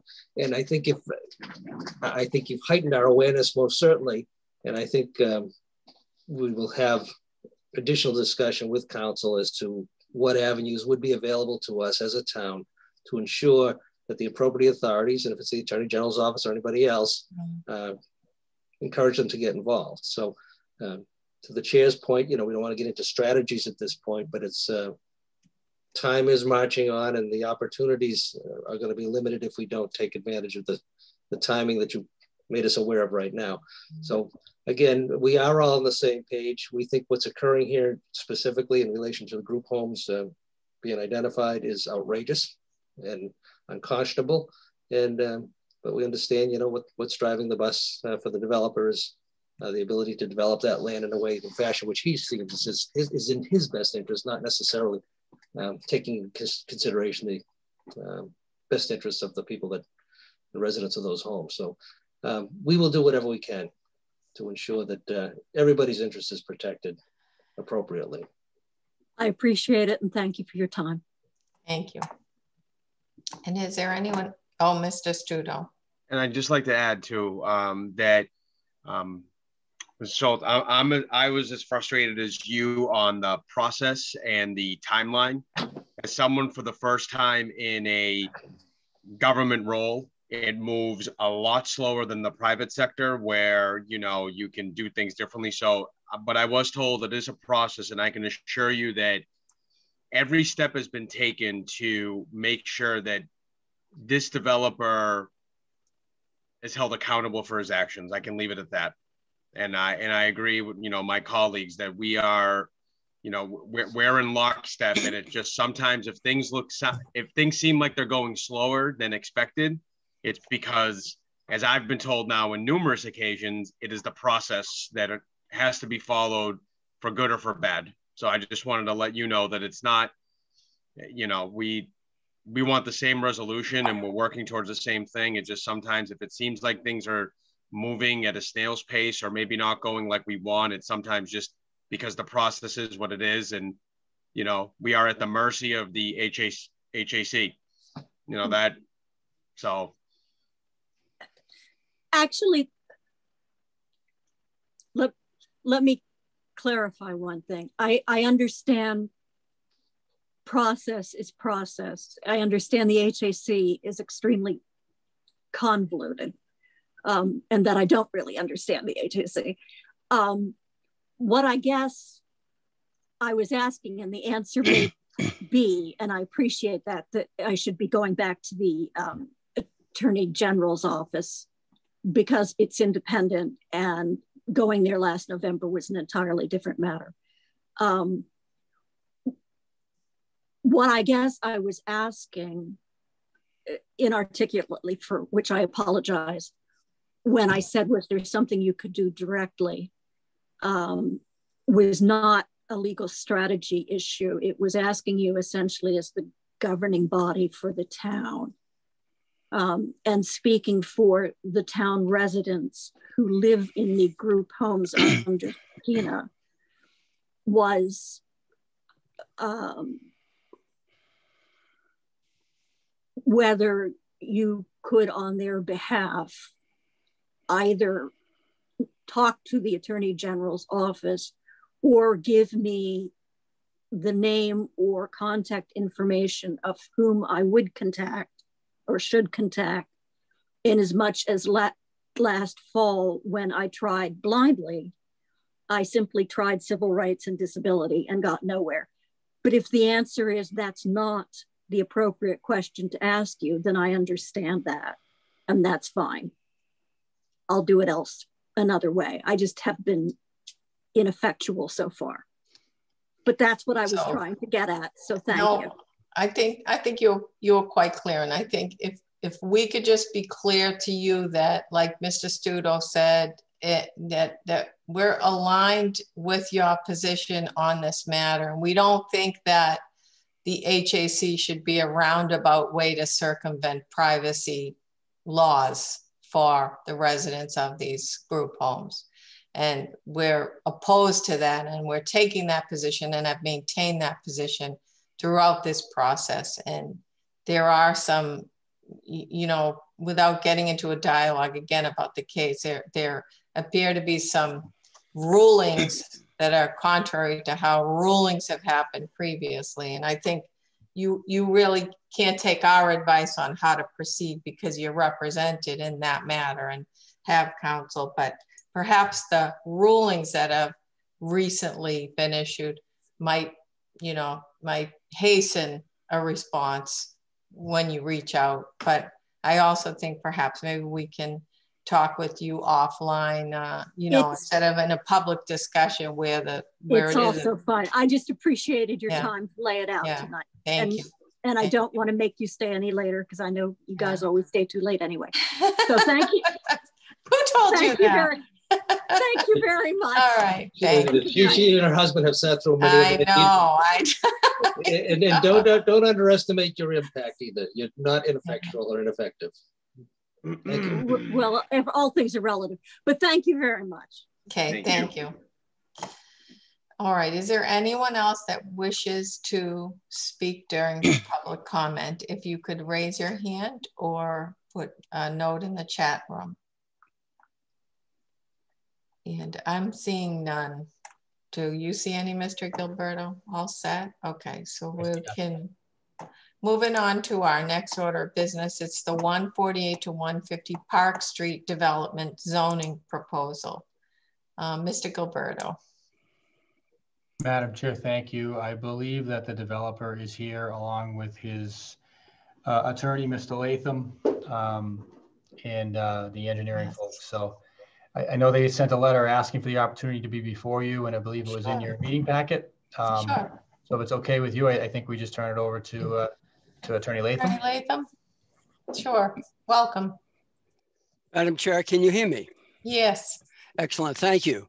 Um, I'm filling in for my son Chris, who's here, but he had a COVID shot. He's a little under the weather, so I told him I'd take over and make the presentation. We, first of all, appreciate the time you spent in listening to us in the past.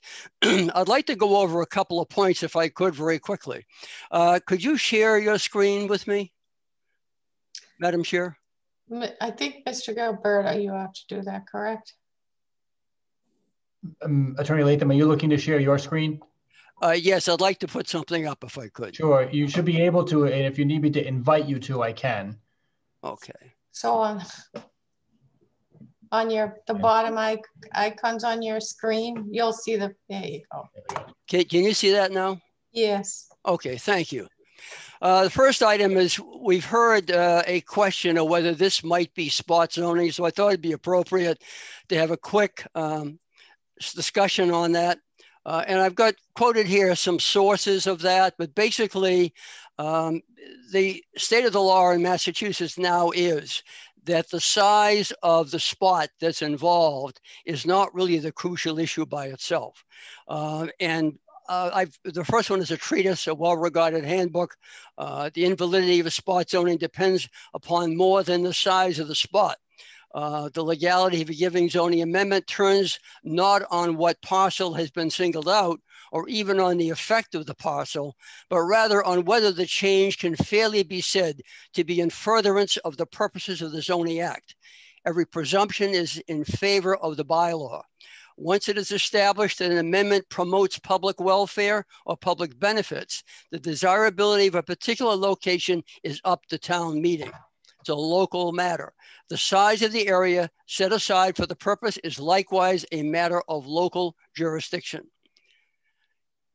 So if rezoning bears a rational relationship to a permissible public objective, the action of the local legislative body here at town meeting will be upheld we think it's clear that what's being proposed does have a significant public benefit, provides senior housing, provides senior affordable housing, uh, vitalizes the historic center, and the overlay districts are located in a perfect neighborhood, as I'll discuss briefly later on for senior residences.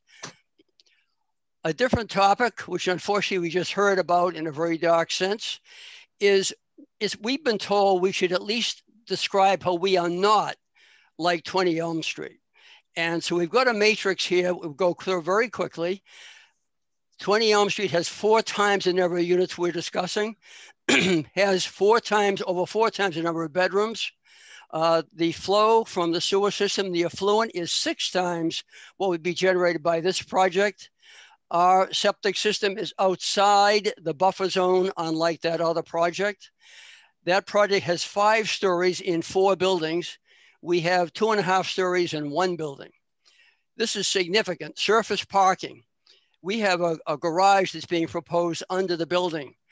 That project has 178 spaces outside surface parking. Ours has 18. Uh, that's 10 times, almost 10 times. And the runoff from that, of course, can be significant. Wetlands, uh, we have a different relationship to wetlands. Theirs has two or three sides abutting wetlands. Ours has one. It's only a, a 20% coverage. Architecturally, I will not talk about theirs, except that ours is authentic historically. Uh, and compared to the massing of that project, it's like apples and oranges. the neighborhood, how does the neighbor react? You know how the neighborhood reacted to the 40B project. Uh, ours is compatible. And in fact, at the public hearing, the, uh, the immediate abutter spoke in support of this rezoning. Impact on the town, the others will have impact on many issues and its distance from emergency response. Uh, we provide senior housing as a positive cash flow to the town, no skyline effect, it is built into the natural grade, uh, and as we've uh, discussed screening at length. Peter Ogren is here, and when any particular questions when I'm through, you can certainly address them to him. I'd like to give just a quick synopsis on the benefits as we see it of the zoning that's before you. The site is now used for auto repair and a steel company has stacked inventory of metal outsides, operates a forklift, flatbed trucks come and go in delivering and removing inventory.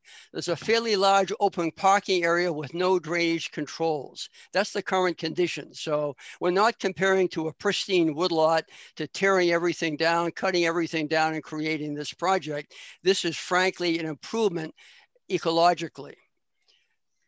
The town needs are addressed by the zoning change. Again, I said uh, providing housing for senior centers, affordable housing, senior citizens. Uh, special permit uh, proposes local preference. So when the applicant applies to the uh, zoning, to the uh, planning board, CPC, uh, in essence, it will be a local preference for all of the market units. It's envisioned those will come on online in different phases. So at each phase, notice will be given publicly, giving the citizenry the opportunity uh, to apply if they want to and giving them a preference on the market units as well. Uh, this will provide a, a, positive cash flow. You saw that at the last presentation and the town retains control. Part of the concept of doing an overlay district is that you still have the special permit control, you still have the site plan review control. This is in a historic, historic district area, and as a consequence, the Historic District Commission will have uh, input as to this as well. so if rezoning passes town meeting, it is not the end, but simply the beginning of the, of the public process. Uh, and as I say, the advantages are the revitalization, the historic center, uh, building design is compatible with New England architecture. Again, no skyline defect, close to emergency services, unlike some other projects, uh, and, um, and it's near underutilized areas. And that's a very important point if I can. And I'd like to go to a picture that I borrowed from your website this is a good picture because as you know, off to the right is the project itself. Look at those natural features of the town that senior citizens can use that they can walk to with this project. There's the library at this location. There's the, the senior center over here, the O'Leary Senior Center. And this is a wonderful area for seniors to exercise, get fresh air. And so our hope is that uh, you consider the benefit of that Bruce Willis is also proposing, Bruce Wheeler is also proposing that as part of his application before the CPC, he would improve and provide a walkability of this open area, perhaps have some seating out there and do some landscaping. It'd be done in a sensitive manner uh, so as not to interfere with the sliding that takes place in the wintertime out here, but would provide the ability to use this for the, for the senior citizens and other citizens in the town themselves. Part of that proposal would also be that the cost of maintaining that would be borne by the homeowners association for the people across the street, the seniors who can use it. So in closing to our presentation, we sincerely believe that this will be benefit the town and the senior citizens, uh, that it's consistent with the master and, and housing production plan to talk about a public-private partnership. That's really what this is. This started we, we certainly did initiate that, but through the meetings with various boards and citizens, this has morphed into a product that is a uh, synthesis of the town's input. Uh, and we respectfully request your support at town meeting. If for any reason you're not inclined to support, would greatly appreciate your advising us as to what we must do to get your support. And we thank you very much for your time. I'm sorry I went through this so quickly, but I know that you're at a tight timeline. Thank you. Thank you. Let's see if there's any, that was very helpful. Let's see if uh, any of my colleagues have any questions while your, your whole team is here. Uh, Mr. O'Leary? No, as usual, uh, again, uh, Mr. Wheeler has uh, put together a, a very a good proposal and again has done his homework and has assembled this this team that he's had for years. And, and again, they always do a good job of uh, addressing the concerns, uh, outlining exactly what they're going to do and follow through with what they say they're going to do. And um, it appears as though, um, you know, he's, he's limited the opposition if there is any, but I haven't heard much about it other than maybe a little density issues. But other than that, I think they've done a good job of making their presentation. I think uh, should town meeting move forward and rezone this, I mean, this, as they pointed out, there'll be other steps in the process where the specifics will be ironed out, you know, through the site plan review and community planning commission. So again, I applaud your efforts. I applaud your uh, continuing effort to to gain support beforehand, and again, be as transparent as you can before town meeting uh, takes the action on it. So thank you for your presentation. Thank you for your thoughtfulness and your outreach. Appreciate it. Thank you. Okay, thanks, Mr. O'Leary. Mrs. Gonzalez? Great presentation. I appreciate it. Uh, you did answer some questions in that presentation that had been asked of me from residents. So um, I appreciate getting those questions answered. Thank you. Thank you. Mr. Wallner? Um, I appreciate that the uh, request for local preference has made it a little bit more formally into your proposal. I'm glad to hear that it's going to be a special permit. I still would like to know more details when you have those before it gets to town meeting and we vote because um, I think that's just really, really important that our town gets the first chance to get into these buildings because that's the main point of this anyways. Um, so uh, I appreciate you bringing it forward the way you have. I look forward to hearing more details about that, how that's going to be locked in. And then the other thing I'll just let you know is that there's a very good chance that the uh, senior center at some point will be become an intergenerational community center and not at this particular location. So you should just be aware of that. Um, and I don't think you have heard that yet. Thank you. That's it. Mr. Thank you, Mr. Wallner. Mr. Stuto. Um, no, I think they have uh, they've met all the questions I had, and you know, I I saw the very early stages of this at the CPC as well as liaison, and uh, I do agree as well. I like that we're taking a shot with the resident preference. I mean, you know, let's see if that stacks up to whatever rules are out there that would or would not permit it. But, you know, I think it's always worth the chance because that it's great if we can get that done. And uh, yeah, I think um, I will say this it is the right way to do a project from start to finish, you know, versus the not right way, which Mr. Latham, thank you very much for, you know, giving me uh, another slide of you know, what's wrong with certain other projects. Thank you. Thank you. Thanks, Mr. Stuto. I, I would agree. I would just say a little differently that the interactive way that you've worked with, um, not just this board. I mean, this is the third time that you that we've had you back here to explain things and that that was extremely helpful because I had my concerns were really the proximity to the river and the impact on the river and that that slide was extremely that that slide was extremely helpful to sort of explain and break that apart because those are the same concerns of course for elm street but also i know this isn't the only board you've been to multiple times. And this was even before you got here with your team we we heard from our planner uh, on this proposal a few times as well. So it's been um, extremely helpful to have that interactive dialogue. And I think that's also another pretty considerable distinction between your project proposal and the zoning proposed and the other the other matter up the road. So I appreciate that too. Thank you. So thank you. All right. And if there's nothing further, um, where we're moving on. We're moving So, on to the next Madam. Chair, when, when are we going to get a, or have we yet gotten a formal uh, recommendation from the Planning Commission? I know that they're sponsoring this, right? So the assumption is they're advocating for it. Oh, I, I thought, oh, Miss, I knew Miss McKnight was joining us. Welcome. So, Thank you. Thank you. Um, yes, the, the CPC has voted to recommend this article and is also the article sponsor. I thought you had already done that, Ms. McKnight. We did. The, before the last time you came before us, yes. That's And there were, there was some slight changes that the developer, or, well, there were changes the developer had made that were incorporated actually after our last meeting with the developer, right? There were a number. how you voted it?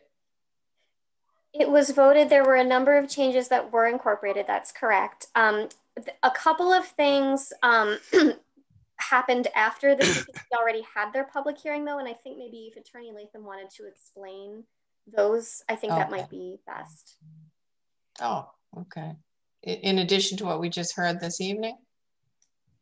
Um, it had to do with the local preference for the market rate units and also um, Attorney Latham, what was the, I'm sorry, what was the other item we had discussed? Permanent make it into deed, permanent, permanent deed restriction for the low income?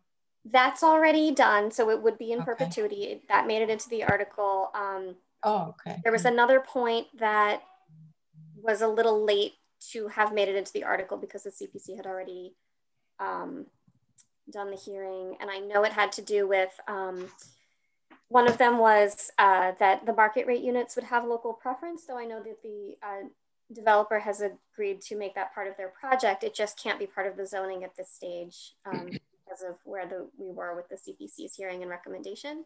Um, and I, I believe there was one other detail. Um, and I'm sorry if I don't know if Attorney Latham can remind me what that other one was. Um, Attorney Latham? Uh, can you hear me okay? Yes. Okay. The other one was to look in a more expansive way uh, at the accessibility for affordable units. And we're, we're still looking at that. That, that requires a fair amount of research, but we're still looking at that to broaden the scope of the uh, accessibility issue. So that's a design, is that a design element more so than a zoning element? it will, it will be a design item because Okay. it's a spatial issue. Okay. All right, so Mr. Mr. Wallner, I think this is the issue that you wanted to hear more about. Yeah, I just, I just like to know, because I didn't see, because I did read through our packet and I didn't see in the, what we're voting on, uh, I didn't see local preference in there other than the affordable units, which I know is in there. So how will the CPC or how will the local preference program work and how will we enforce that? And maybe Danielle can answer that. I'm not sure. Uh, Madam, through the chair? Yes, Attorney Latham. Thank you. Uh, The local preference would work so that uh, before a phase comes on, let's assume that each phase is five units. Before that phase comes on the market for sale, uh, the developer would put in the local paper, perhaps put on the town website if you wanted to, on his website, that it's coming along, five units would be available, and have a window of time in during which the citizenry can apply and they get preference. Uh, obviously, it's going to be at, at well the normal kind of market buying, but they've got the first opportunity to buy units. And every time a phase comes on, they do a re-advertising for that phase. I've So- I've done that in Topsfield, and Bruce has done it in different locations as well. And is that for local preference for income eligible for also the low income housing units? No, that I'm talking about the actually the market units as well.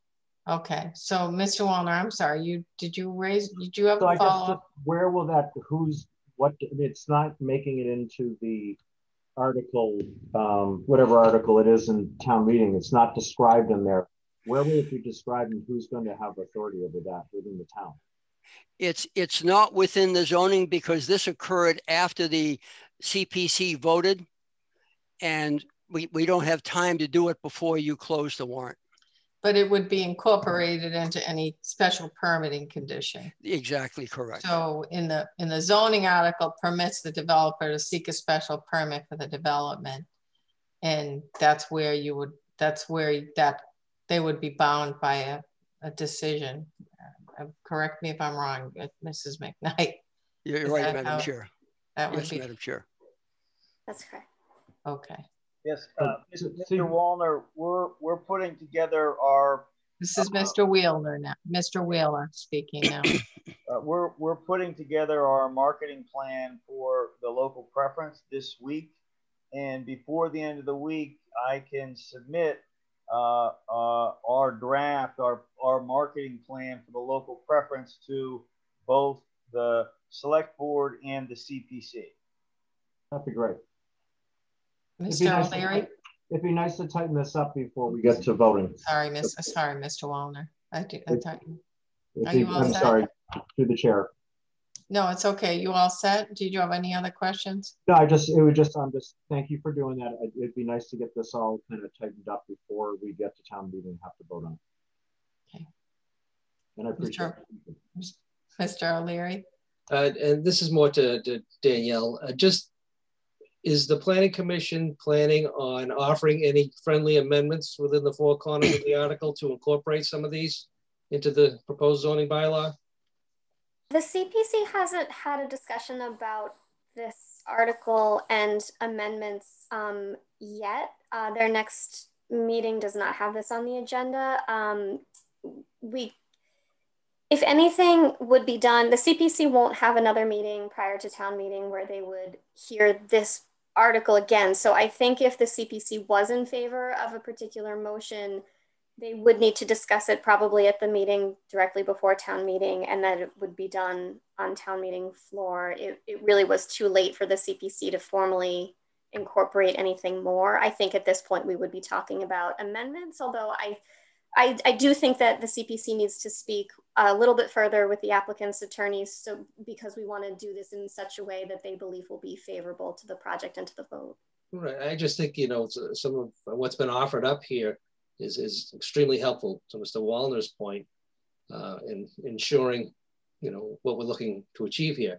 And I think if we can incorporate it into the zoning bylaw, it would be very helpful if the planning commission could carve out a little time to, to consider those and come forth with the amendments, be as the proponent, propose those amendments uh, that the developer is offering up. Uh, and I just think it strengthens the argument for sure. That's something that I can continue to speak with um, the applicant's attorneys ab- about. I know that, um, you know, I, I do want to allow them to approach the motions in, in a way that, I mean, I know it's the CPC sponsored article, but we want to approach it in a way that they feel will be most favorable to their project. So I think it's a good possibility, but we do need to talk with them a little further about it. Yeah, I just, I think they need to provide themselves an opportunity to do that. That's all. Thank you. Uh, Mrs. we were- Gonzalez? Uh, thank you. Um, I just wanted to clarify a statement Mr. Wallner made. Um, I, I, just was not aware that there was something definitive. I don't know if that was he was suggesting about the senior center moving. Um, I've never heard anything definitive on that.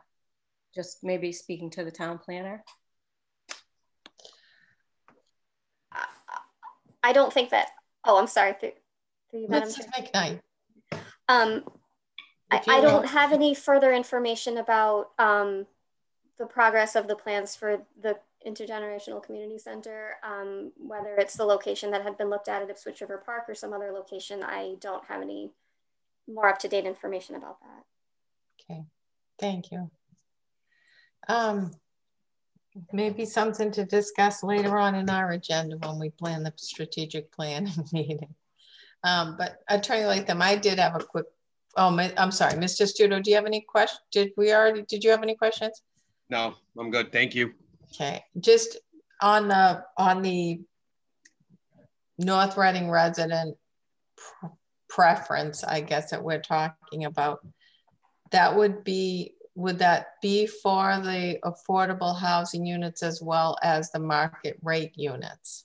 The uh, affordable units have to meet state DHCD requirements. And so the town has to show that there's a need for a preference. We will, we will follow whatever the state and the, the uh, town wants and what the state approves for local preference and affordable. We can't control that. Okay. But we, but we can make the promise on the market units beyond that.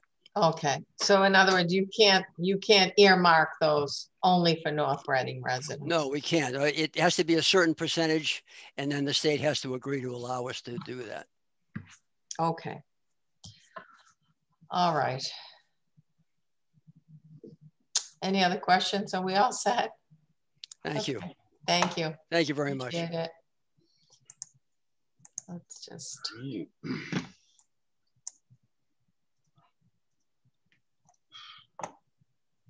All right, I think we, you have to unshare your screen to Attorney Latham. I'm probably going to log off so that I, I don't know how to do it. So I'm going to log, I'll come back on. All right, that'll Thank you. probably work too. Thank An you. honest man. All right. Okay, so our, we do not have a motion in the packet on that, do we? No.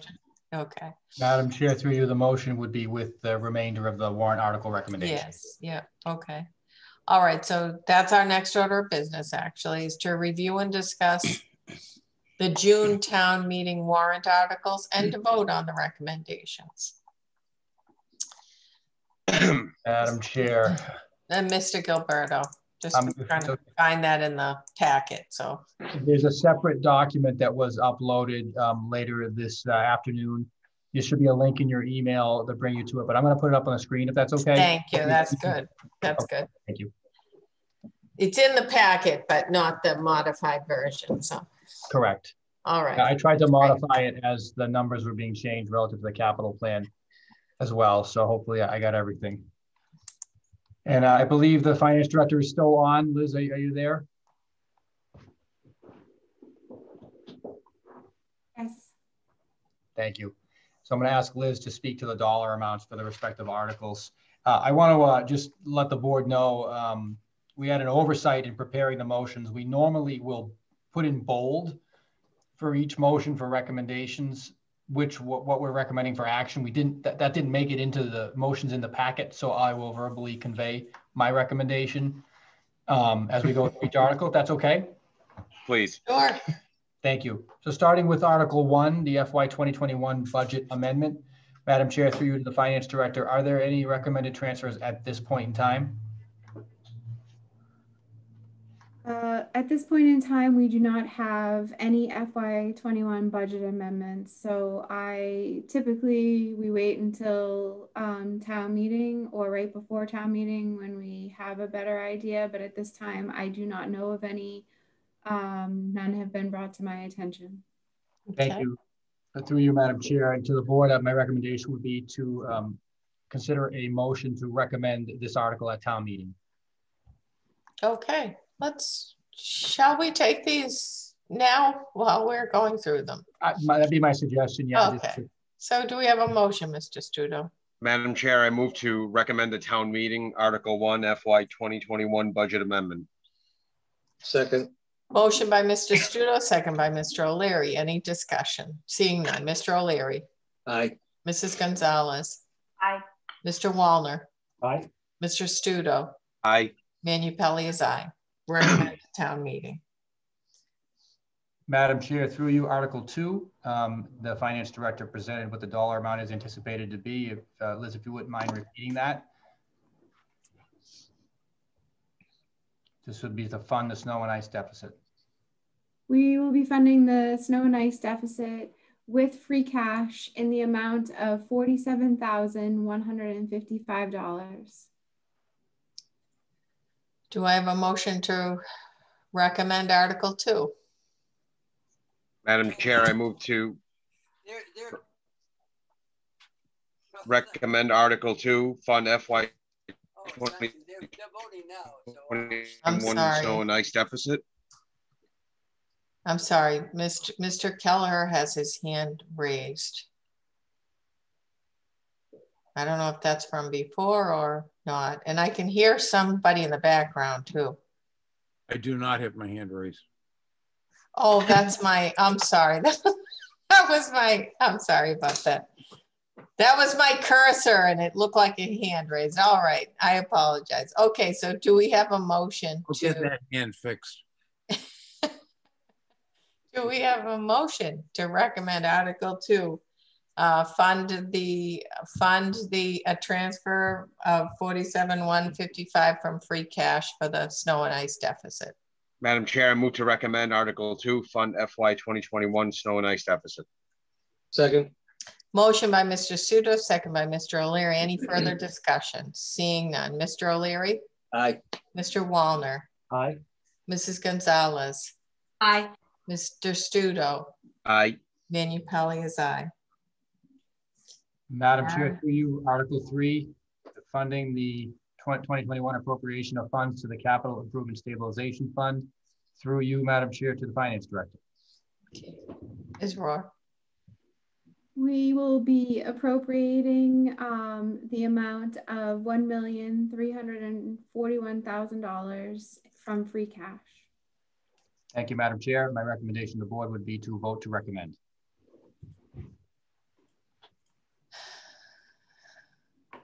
Do I, do I have a motion?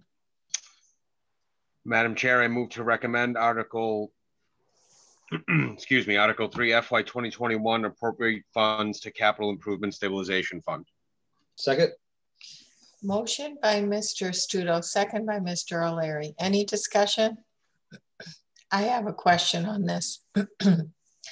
If we are to consider further guidance with the Rescue Act funds, are we, if we vote to recommend this now through the free tra, tra free, blah, free cash, I was gonna say free trash, because it's getting late, free cash transfer.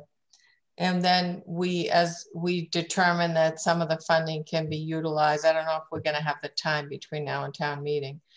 We would be doing a motion on the floor to amend that to, or you're just recommending that we keep it as free cash, Mr. Gilleberto?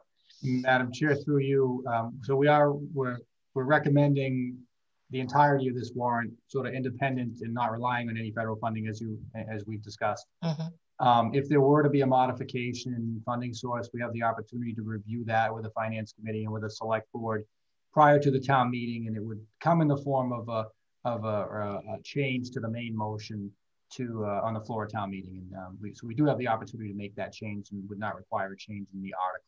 Because I expect it would just reduce the dollar amount we're talking about here. Okay, all right, okay, thank you. So seeing no further discussion on the motion by Mr. Stuto, seconded by Mr. O'Leary to recommend the appropriation from free cash. Mr. O'Leary, Aye. Mr. Wallner, Aye. Mrs. Gonzalez, Aye. Mr. Stuto, Aye. Manupelli is aye. Madam Chair, through you, Article Four, fiscal year 2021 transfer of funds to the Water Stabilization Fund. Through you to the Finance Director. Ms. Roy, We will be recommending to transfer the balance of retain, water retained earnings in the amount of fourteen thousand six hundred and sixty-five dollars. Thank you, um, Ms. Rourke. Um, Through you, Madam Chair, to the board, our recommendation would be to vote to recommend. okay, Madam Chair, I move to recommend Article Four, FY 2021 transfer funds to Water Stabilization Fund. Second. Motion by Mr. Stuto, uh, second by Mr. O'Leary. Any further discussion? Seeing none. Mr. O'Leary, Aye. Mr. Wallner, Aye. Mrs. Gonzalez, Aye. Mr. Stuto, Aye. Manupelli is aye. Madam Chair, through you, uh, for Article Five, um, there, there may be a recommendation for a transfer to occur at town meeting once we have uh, finished the total financial plan for June town meeting, which we're pretty close to at this point. But my, my recommendation would be to the board to vote to recommend this at town meeting um, at this time, and we can come back and, and address that right before town meeting. Okay. Do we have a motion to recommend a town meeting? Madam Chair, I move to recommend at town meeting Article Five, FY 2021 appropriate money to stabilization. Second. Motion by Mr. Stuto, second by Mr. O'Leary. Any further discussion? Seeing none. Mr. O'Leary, Aye. Mr. Wallner, Aye. Mrs. Gonzalez, Aye. Mr. Stuto, Aye. Manupelli is aye. Madam Chair, through you, Article 6, uh, fiscal year 21, transfer of funds to uh, OPEB. Um, We do not anticipate recommending a transfer at this point in time. Um, But, uh, so I would therefore um, recommend that the board consider voting to recommend at town meeting this article uh, with the expectation that we're likely going to be recommending to pass over the article. Madam Chair, I move to recommend the town meeting, Article 6, FY 2021, transfer funds to other post-employment benefits liability trust fund. Second. Motion by Mr. Stuto, second by Mr. O'Leary. Any further discussion? Seeing none. Mr. O'Leary, Aye. Mr. Stuto, Aye. Mr. Wallner, Aye. Mrs. Gonzalez, Aye. Manupelli is aye. Madam Chair, through you, Article 7, fiscal year 2021, transfer funds to the Solid Waste Stabilization Fund. We customarily evaluate where the program is financially toward the end of May and provide a number to the Select Board and the Finance Committee right prior to town meeting so it can be as accurate as possible for this transfer. And I would therefore recommend that we, that the board vote to um, recommend at town meeting this article. Madam Chair, I move to recommend the town meeting, Article 7, FY 2021, transfer funds to solid waste stabilization fund. Second. Motion by Mr. Stuto, second by Mr. O'Leary. Any further discussion? Seeing none. Mr. O'Leary, Aye. Mr. Stuto, Aye. Mr. Wallner, Aye. Mrs. Gonzalez, Aye. Manupelli is aye. Madam Chair, through you, Article 8, fiscal year 21, appropriation of funds to the PFA fund. We do not anticipate a transfer going into this fund at this point in time, as we customarily do that at the October town meeting. And we uh, would therefore recommend that the board consider a vote to recommend at town meeting this article with a likely recommendation being to pass over. Madam, Madam Chair, I move to recommend the town meeting, Article 8, appropriate funds to participating funding arrangement fund. Second. Motion by Mr. Stuto, second by Mr. O'Leary. Any further discussion? Seeing none. Mr. O'Leary, Aye. Mr. Stuto, Aye. Mr. Wallner, Aye. Mrs. Gonzalez, Aye. Manupelli is aye. Madam Chair, through you, Articles 9, 10, and 11 are routine articles for the selection of town officers, hearing reports from town officers and committees uh, if they are proposed, and authorizing the Public Works Director to accept easements. Um, And I should extend that to include Article 12 as well for the treasurer to enter into compensating balance agreements. So um, we have four individual motions, and our recommendation would be to vote to recommend all four articles. Okay, Madam Chair, I move to recommend Article 9, select town officers. Second. Motion by Mr. Stuto, second by Mr. O'Leary. Any further discussion? Seeing none. Mr. O'Leary, Aye. Mr. Stuto, Aye. Mr. Wallner, Aye. Mrs. Gonzalez, Aye. Manupelli is aye. Madam Chair, I move to recommend Article 10, hear and act on reports of town officers and committees. Second. Motion by Mr. Stuto, second by Mr. O'Leary. Any further discussion? Seeing none. Mr. Stuto, Aye. Mr. O'Leary, Aye. Mr. Wallner, Aye. Mrs. Gonzalez, Aye. Manupelli is aye.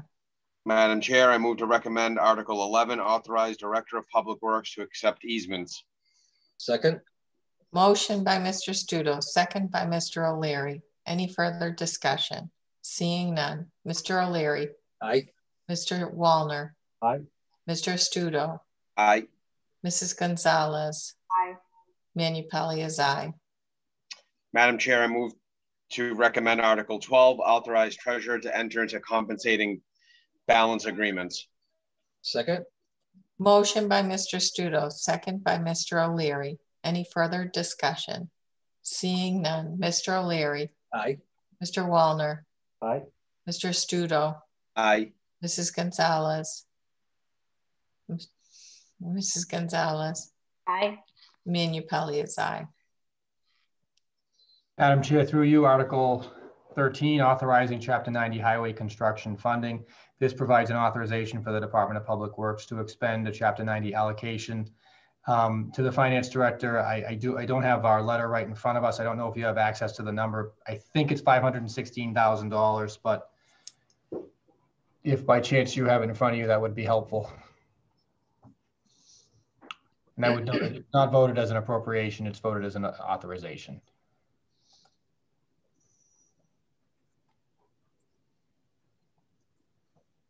Do, do we need the, do we need the amount to? In my opinion, no, you don't. Okay.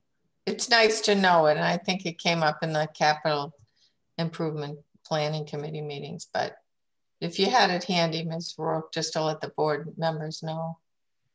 Yes, one moment, please. Um, and I just wanted to say that you won't be voting the dollar amount, but it, it's nice to just know what we are are receiving. So let Madam, me see.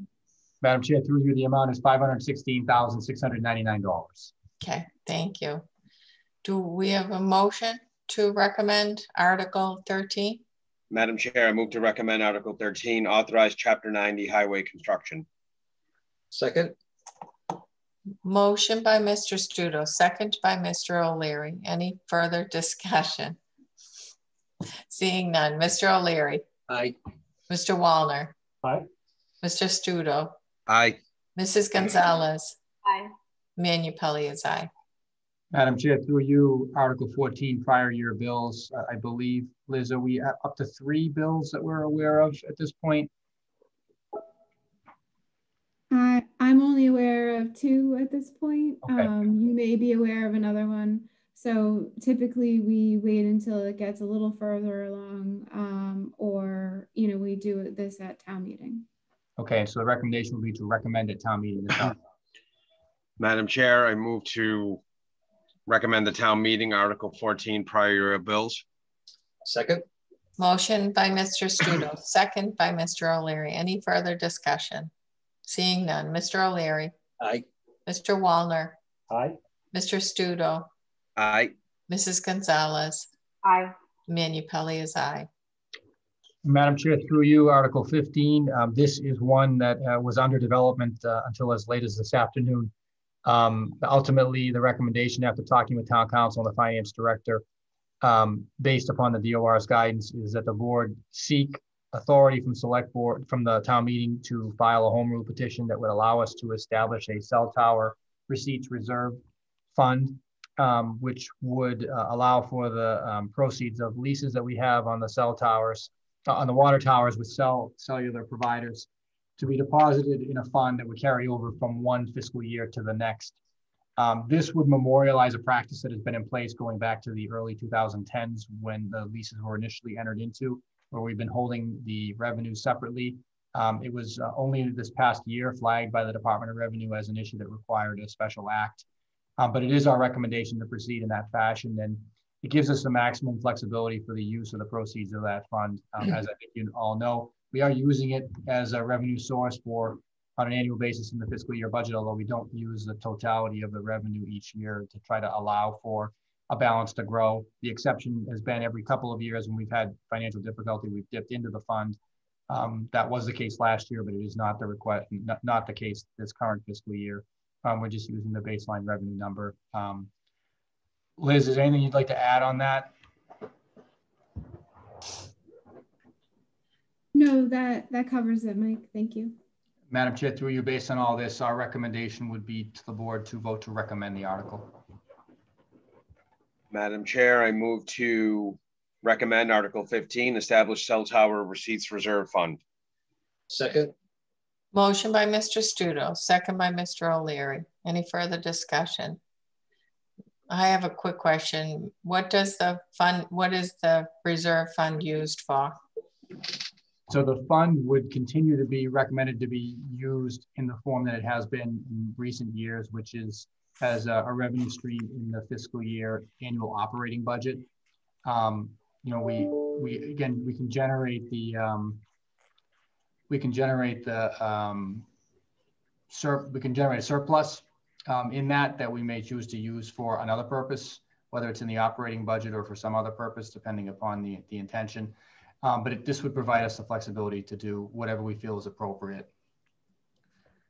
So it doesn't need a designated purpose. We just have to establish a reserve fund. It doesn't need an amount or a purpose to it.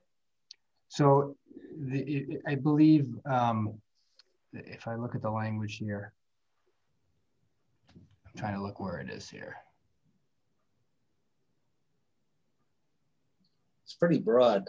Yeah. yeah, it doesn't really say why we're doing extremely it. broad. And, and well, uh, we tried to provide the board maximum flexibility, and that's why this is the avenue that we ended up coming to. It gives you ultimately the ability to recommend whatever the appropriate use is. Um, and, and we asked we asked really that it not be limited in the drafting of it. That's why you're seeing it worded in, in this fashion. I'm looking for language that says anything, something like, or any valid public purpose, but I'm not seeing it in here. No, just used to assist in funding the cost of town, including municipal and school operations. That's. Mm-hmm. it says within the scope of the general public objectives of this right. petition, yeah. I guess. So thank you. Thank you. All right. My eyes just are not going. Yeah, no, I know. I just was curious why we would have to do this and put it as a reserve fund unless we're utilizing it for, you know, the, you know, tech, te you know, IT purposes or something like that. So I was just curious why we were, I know we're sponsoring it. I just don't know why.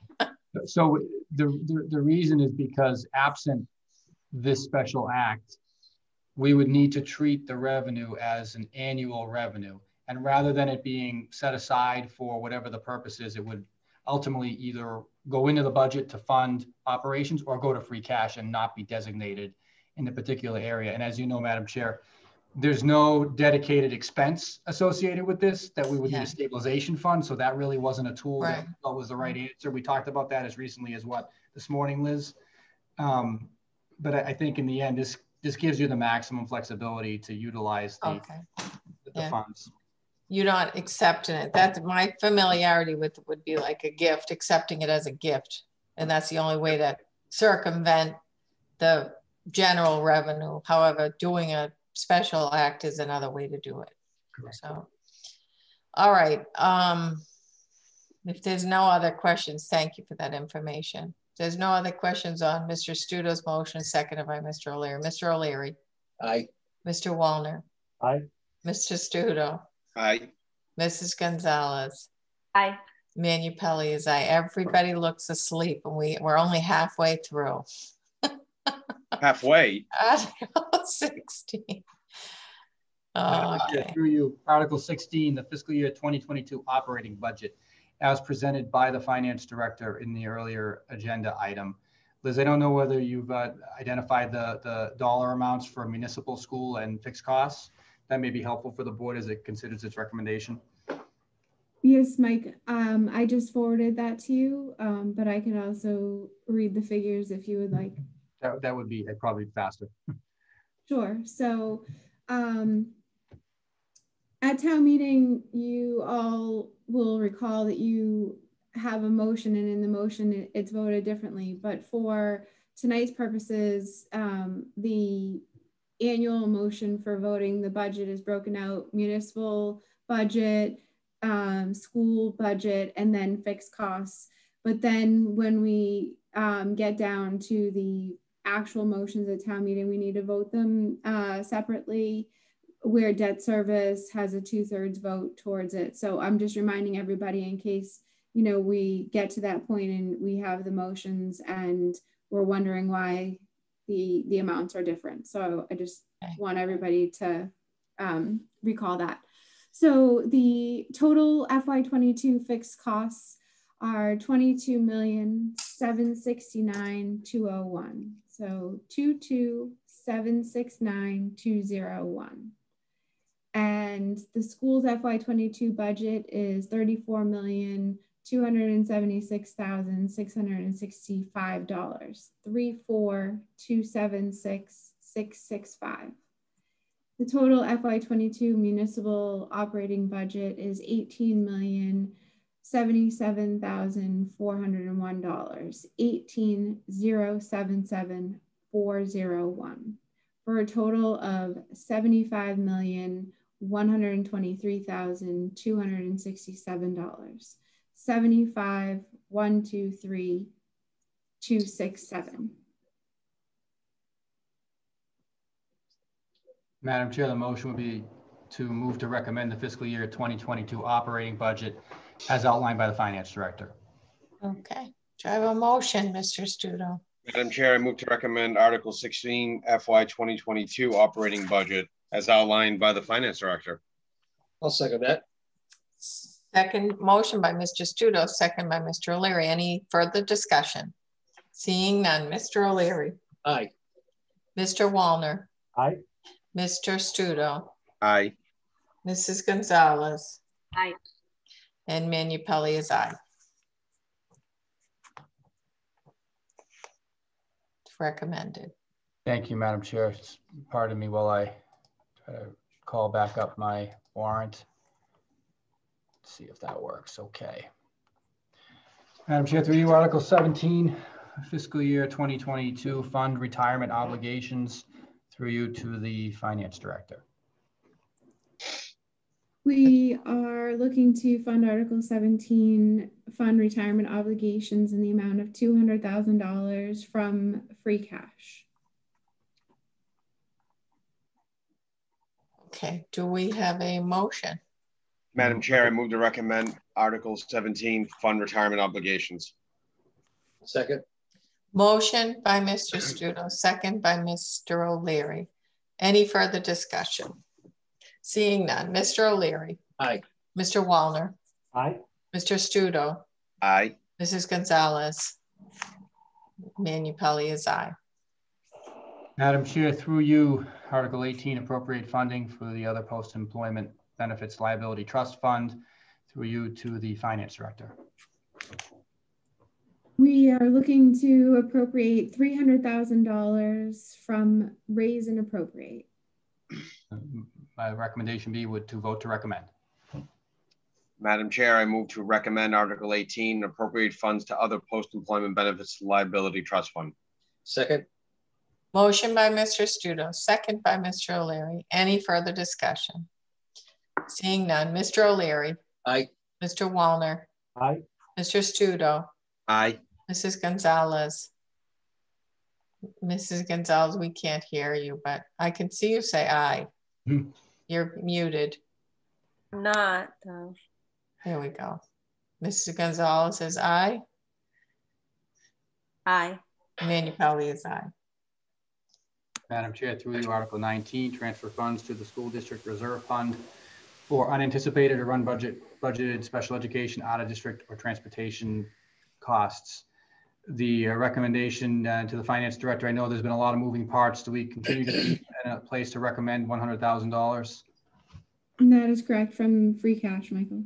Thank you, Madam Chair. So through you, uh, this will be a tran- transfer into the funds. I would recommend uh, a vote to recommend.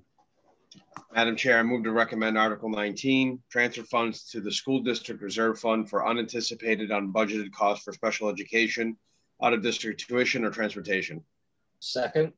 Motion by Mr. Stuto, second by Mr. O'Leary. Any further discussion? Seeing none, Mr. O'Leary, Aye. Mr. Wallner, Aye. Mr. Stuto, Aye. Mrs. Gonzalez, Aye. and Manupelli is aye. Did you hear that better? Yes. Oh, We good. heard you. Okay, Yeah. Okay. Madam Chair, through you, Article 20, rescinding authorizations to borrow um, through you to the finance director. Um, Are there any identified items to be rescinded at this point in time? We could have two potential, but we are waiting for a response from bond counsel as to if we can do that at this time. As the treasurer collector mentioned, we didn't borrow the full dollar amount for the water meter project or for the town hall boiler project. So we would be looking to rescind the difference in the amount um, that was authorized and, and what we borrowed for as the projects are complete. However, where um, we will not be receiving our funds until May 27th, even though the bonds and bans were sold last week, and you you folks are signing them this evening. we are just waiting to see if it if we are allowed to rescind at, at June town meeting. So um, I would hold your vote until town meeting. My recommendation would be to recommend a town meeting. Madam Chair, I move to recommend the town meeting, Article 20, rescind authorization to borrow. Second. Motion by Mr. Stuto, second by Mr. O'Leary. Any further discussion? Seeing none. Mr. O'Leary. Aye. Mr. Wallner. Aye. Mr. Stuto. Aye. Mrs. Gonzalez. Aye. Manupelli is aye. Madam Chair, through you, Article 21, fiscal year 2022 capital expenditures. You'll see I've highlighted in yellow the articles that were added from the uh, original draft of the warrant, sidewalk tree removal, the modified numbers of the Hillview projects, including adding the bunker restructuring project. You've already taken a vote with regard to the plan. Um, the recommendation would be to vote to recommend the article. Madam Chair, I move to recommend Article 21, FY 2022 capital expenditures. Second. Motion by Mr. Stuto, second by Mr. O'Leary. Any further discussion? Seeing none. Mr. O'Leary. Aye. Mr. Wallner. Aye. Mr. Stuto. Aye. Mrs. Gonzalez. Aye. Manupelli is aye. Madam Chair, through you appropriating money to the participating funding arrangement fund. Uh, we are not anticipating a transfer taking place at the June town meeting as it customarily occurs in the October town meeting and expect that the recommendation will be to pass over the article, but for the time meeting, time being, we are recommending a vote to recommend at town meeting this article. Madam Chair, I move to recommend a town meeting, Article 21, appropriate funds to participating funding arrangement fund. Article 22. 22. 22, sorry. I'll second that. Thank you. I thought you were testing us. No, Uh, this Wait. is a, a vote. wait, wait, time out, time out, back up. No, no, no. This is why I misread it. It says Article 21 in the motion by mistake. I'm Oh. reading the motion, so, but it is Article 22. Sorry, I just, we. Sorry I about should've- that. I should, I should have caught it. I just, Yeah, because we already voted Article 21. correct. So it's there twice, but either way, it's 22. All right, so we're going to, we're on Mr. Stuto's motion to recommend a town meeting seconded by Mr. O'Leary. Any further discussion? Seeing none. Mr. O'Leary. Aye. Mr. Wallner. Aye. Mr. Stuto. Aye. Mrs. Gonzalez. Aye. Manupelli is aye. Madam Chair, through you, Article 23, funding town building repairs. We do have a listing of projects that have been provided by the building superintendent, which I will review briefly um, here. If I can manage to share my screen properly. You see a total of $50,000, town hall air conditioning upgrades, uh, which has been an ongoing project um, from um, one year to the next, although we didn't do these last year, if I recall. Um, Town hall exterior wall repair and replacement, areas where there's timber that's deteriorating and allowing water penetration, that's ten thousand dollars. The building on the common is a need for a sump pump in the basement, and it is an area where there are items that are stored by a number of community groups, so we're looking to uh, try to address that issue in the amount of seven thousand dollars. And um, there's some uh, miscellaneous projects inside the building on the tavern and, and the building on the common to um, en- ensure greater compliance with the building code. Uh, among them including railings and interior steps and emergency lighting and signage for ten thousand five hundred dollars for a grand total of fifty thousand dollars. And I believe through you to the finance director, the funding funding source is contemplated to be free cash. Madam Chair, I move to recommend Article 23, fund town building repairs. Second. Motion by Mr. Stuto, seconded by Mr. O'Leary. Any further discussion?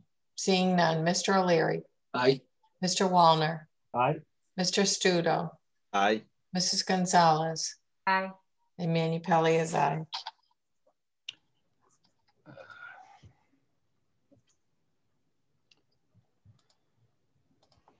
Madam Chair, through you, Article 24, appropriating money for special counsel legal expenses. We're not recommending an appropriation at this time, but we'll continue to monitor the progress of the case. And the recommendation would be for a vote to recommend at town meeting this article. Madam Chair, I move to recommend a town meeting Article 24, appropriate money for special counsel legal expenses. Second. Motion by Mr. Stuto, second by Mr. O'Leary. Any further discussion? Seeing none. Mr. O'Leary. Aye. Mr. Wallner. Aye. Mr. Stuto. Aye. Mrs. Gonzalez. Aye. And Manu Pelley is aye. Madam Chair, through you, Article 25, appropriating money for legal expenses with the 20 Elm Street litigation. Um, we are recommending funding in the amount of $100,000 with the funding source being free cash. And the recommendation would be to vote to recommend the article. Madam Chair, I move to recommend Article 25, appropriate money for legal expenses, 20 Elm Street litigation. Second. Motion by Mr. Stuto, second by Mr. O'Leary. Any further discussion? Just a quick question. Mr. Waller. Yeah, didn't we, I, I think we appropriated before like a hundred, hundred and fifty thousand, and have we already burned through that, I guess is my question? No, uh, um, so, wrong? Madam Chair, through you, we have a, a balance of $184,000 roughly um, at this point in time on this. Uh, this would be for additional funding to secure our position as we go through the case uh, with the Housing Appeals Committee and uh, any other future uh, action. So our fund will be 284,000. Correct, yes. And that, that feels wise to do that at this, at this point? Uh, I mean, in, in, my opinion, you know, we, we're in a spot where we have the funding available in, in free cash. The article was able to survive over multiple fiscal years. Um, you know, my feeling was that it would continue to put us in the strongest position. And you know, if we you know end up you know not needing to expend all those funds, you have the ability to um, reappropriate the funding um, at a later point in time. But uh, where the funding is on hand, it seemed like uh, an appropriate step. Okay, thank you. I'm, I'm good. Thank you. Okay. Motion by Mr. Stuto, second by Mr. O'Leary. Any further discussion? And seeing none. Mr. O'Leary. Aye. Mr. Wallner. Aye. Mr. Stuto. Aye. Mrs. Gonzalez. Aye. And Manupelli is aye. Madam Chair, through you, Article 26, amending the code to add the school rental revolving fund. And I know each time this has come up, I have botched the the description of it and confuse it with another article. So I hope I don't do that here this evening. Um, so this would be to modify our bylaws to add a school rental revolving fund approved at a previous town meeting with the school committee being authorized um, to expend funding out of the fund. And um, we are uh, recommending that the board vote to recommend the article.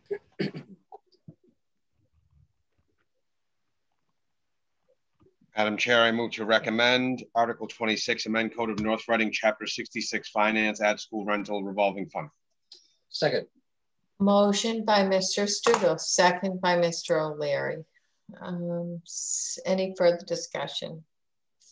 I have a fat, fast question. Who who manages that reserve account? Keep, I believe the tally what comes in and what's getting used. Through you, Madam Chair, I believe it'll be the Assistant Superintendent for Finance and Operations. Um, Liz, is that your understanding? That is correct. And it's meant to for use to offset their operational costs, right? At for maintenance point. of school facilities, correct. I will say that, you know, this was original, this program that called for this, this actual article was intended to be relying on the rental of space in the form of uh, solar panels for energy generation the market has proved not to be favorable at this point in time for that. So um, they may revisit it at a later point in time. But nonetheless, we wanted to really make sure that we shored up the authorization so that when, when and if that time comes, the school committee is able to act quickly. Thank you. And okay. Motion by Mr. Stuto, second by Mr. O'Leary. Any further discussion? Seeing none. Mr. O'Leary. Aye. Mr. Wallner. Aye. Mr. Stuto. Aye. Mrs. Gonzalez. Aye. And Manupelli is aye. Madam Chair, through you, this is the uh, same school rental revolving fund that we just discussed, Article 27, um, as it was discussed in Article 26, I should say. Article 27, this would be to establish a dollar amount, which we anticipate recommending at $125,000. and our recommendation would be to vote to recommend the article. This is not an appropriation, it is simply setting the maximum expenditures out of the fund. Madam Chair, I move to recommend Article 27, establish dollar amount for school rental revolving fund at 125,000. Second. Motion by Mr. Stuto, second by Mr. O'Leary. Any further discussion? Seeing none. Mr. O'Leary, Aye. Mr. Wallner, Aye. Mr. Stuto, Aye. Mrs. Gonzalez, Aye. Manupelli is aye. Madam Chair, through you, um, I know the finance director has been in the midst of reviewing the performance of the various revolving funds. Um, I don't believe uh, that the review has concluded, although we are hopeful that it will conclude before town meeting. So we would recommend that the board vote to recommend uh, at town meeting this article.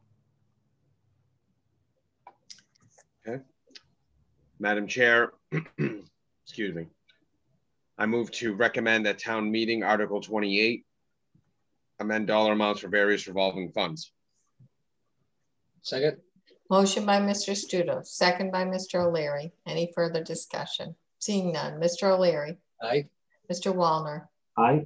Mr. Stuto, Aye. Mrs. Gonzalez, Aye. and Manupelli is aye. Madam Chair, through you, Article 29 would be an amendment to our zoning bylaws, adding the regulation of small cell wireless facilities. Um, I believe you received a presentation and a recommendation from the Planning Commission that are both favorable for this bylaw. Um, and um, so the board is so inclined to take a position, uh, it may, may wish to recommend the article. I think we've discussed in a previous meeting that there is anticipated to be a separate policy that the select board would also be working on um, which would govern um, the um, placement of such facilities on public property, particularly in the in the right of way, um, on telephone poles or otherwise. Um, you know, this is something that we've been watching, I think, for probably 18 months at this point in time, and um, we've, you know, through the town planner and the planning commission, gotten it to a point where we have action that we can recommend that will regulate these facilities should they come to town here in North Reading and it's the board's prerogative whether it chooses to recommend, not recommend, or um, or um, recommend a town meeting. Um, I think that there's been a sufficient amount of feedback, and I think that my opinion is we're in a position to recommend it at this point if the board's so inclined. Madam Chair, I move to recommend Article 29, amend code zoning bylaws, adds add section small cell wireless facilities. Second. Second. Motion by Mr. Stuto, second by Mr. O'Leary. Any further discussion? Seeing none. Mr. O'Leary. Aye. Mr. Wallner. Aye. Mr. Stuto. Aye. Mrs. Gonzalez. Aye. And Manupelli is aye. Madam Chair, through you, Article 30. Um, this is the Senior Housing Overlay Zoning District, which we've had um, a number of conversations about amongst the board and with the planning commission, the town planner and the developer and his representatives. Um, so um, through you, Madam Chair, I defer to the board as to its intent at this point in time, but you have heard a recommendation from the planning commission. we have a motion. Yep, Madam Chair, I move to recommend Article 30, amend code addition of senior housing overlay zoning district. I'll second for the purposes of discussion. Motion by Mr. Stuto, second by Mr. O'Leary. Any further discussion? Just, uh, again, I, am inclined to, to, to, support, but I would like to see some of what was discussed this evening incorporated into the, uh, the main motion. Um, so maybe it's going to change a little bit before town meeting. Uh, either things are going to be incorporated or not incorporated. And uh, I'd like to see what the final proposal is. So again, my inclination is to be supportive, but I'd like to see uh, some of the other suggestions incorporated into the main motion. Mr. O'Leary, and specifically being the North Reading resident preference. Some of the resident preference stuff, yeah, incorporated into it. Okay. So I mean, you know, like I said, uh, I'm inclined to, to be supportive, but um, I think it helps cement the deal. Let's put it that way. And so maybe we want to just make a recommendation town meeting with a strong indication right now publicly that things are looking pretty good. Okay, so Mr. Any other input, Mr. Wallner? Yeah, I, I, I, agree with that as well. There's there's no harm in us recommending it to town meeting. And, uh, you know, I like the project as well, but I think we have to really put teeth into that local preference. Mm-hmm. Uh, we weren't getting, you know, I wasn't getting solid answers from CPC. So this just keeps a little pressure on them to do more. Okay, Mr. Stuto, any input? Yeah, no, same thing as Mr. Lou, Mr. Wallner. Just with the added caveat that if the we should have the local preference. However, again, if for whatever reason we come up with some legal obstacles, which was one of the questions that's been kind of hanging over how forceful we can be with that local preference, that that you know that that should be taken into account. So, but I do agree that there's no. Again, I just said recommend, like what Mr. O'Leary said, just to get the discussion going. I didn't necessarily, you know, reading the article. So, but I, I don't think it's uh, a bad thing to wait till the meeting. Okay, Mrs. Gonzalez. Um, I, I would agree with my colleagues. So Madam Chair, I'd like to withdraw my second. Thank you. Motion fails. Do we have another motion? Yes, Madam Chair, I move to recommend the town meeting Article 30, amend code addition of senior housing overlay zoning district. I'll second that. Motion by Mr. Stuto to recommend a town meeting, seconded by Mr. O'Leary. Any further discussion? Seeing none, Mr. O'Leary. Aye. Mr. Wallner, did you have something? I was just going to say, just they can do commercially whatever they want. It's not a legal issue on that issue. It's only on the 40B part that that the legal issues come in. On a commercial side, you can do whatever you want. It's not a 40B project, so I don't think we're going to have to worry about that part. Anyways, um, I also don't see an issue legally with putting that into the overlay because it it, it it's our zoning. It's a local, it's local, locally regulated. And even his presentation, you know, reflects that. So if our whole purpose of agreeing, yes, we want this overlay is to provide provide more housing for for our seniors and our residents. I don't see why I'm accepting accepting out the low income, which runs by its own regulations, but uh, the rest of it should be a you know kind of that's that's part of our that's part of the enticement of the whole project. So, right. all right. So and I, which is okay. So we're back to the, the motion to recommend. So Mr. O'Leary was an aye. Mr. Wallner, Mr. Stuto. I don't think we recorded your vote yet. Uh, aye. Mrs. Gonzalez. Aye. And Manupelli is aye. So we'll recommend a town meeting in the hopes that there'll be some consideration for those type of amend amendments to the language. Madam Chair, through you, Article 31, citizens petition to amend the zoning bylaws for um, the property formerly known as Seven Acres Poultry Farm on Concord Street. Um, through you, Madam Chair, I see the town planner is still here this evening. Are you still there, Danielle? I am. Thank you. Just to clarify, did the planning commission, has the planning commission voted to recommend this article? They have not yet. Uh, they will probably be doing so at town meeting. Okay. And Madam Chair, through you, the board may wish to take that, you know, advisement and, and proceed similarly.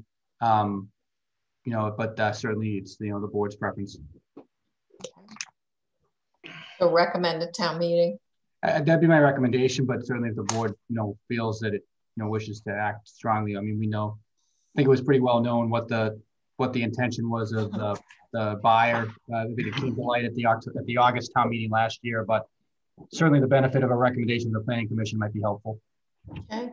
Board prerogative, Mr. O'Leary. Is there going to be a presentation um, by the petitioner before the planning commission or before this board? As far as again, I don't know if the plans have changed or not. Uh, just what the intentions are? Or are they still the same? Madam Chair, through you to the town planner, um, would you be able to respond?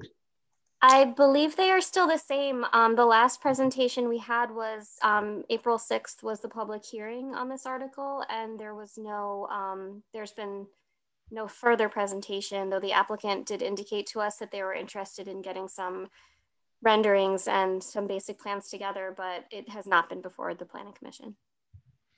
Is it the intention of the, the administration and the chair maybe to offer some agenda time at our next meeting? And again, this is just to bring everybody up to date. Yeah, it's been several months and since we're on the football field. yeah. I, I didn't have that intention. I don't. I.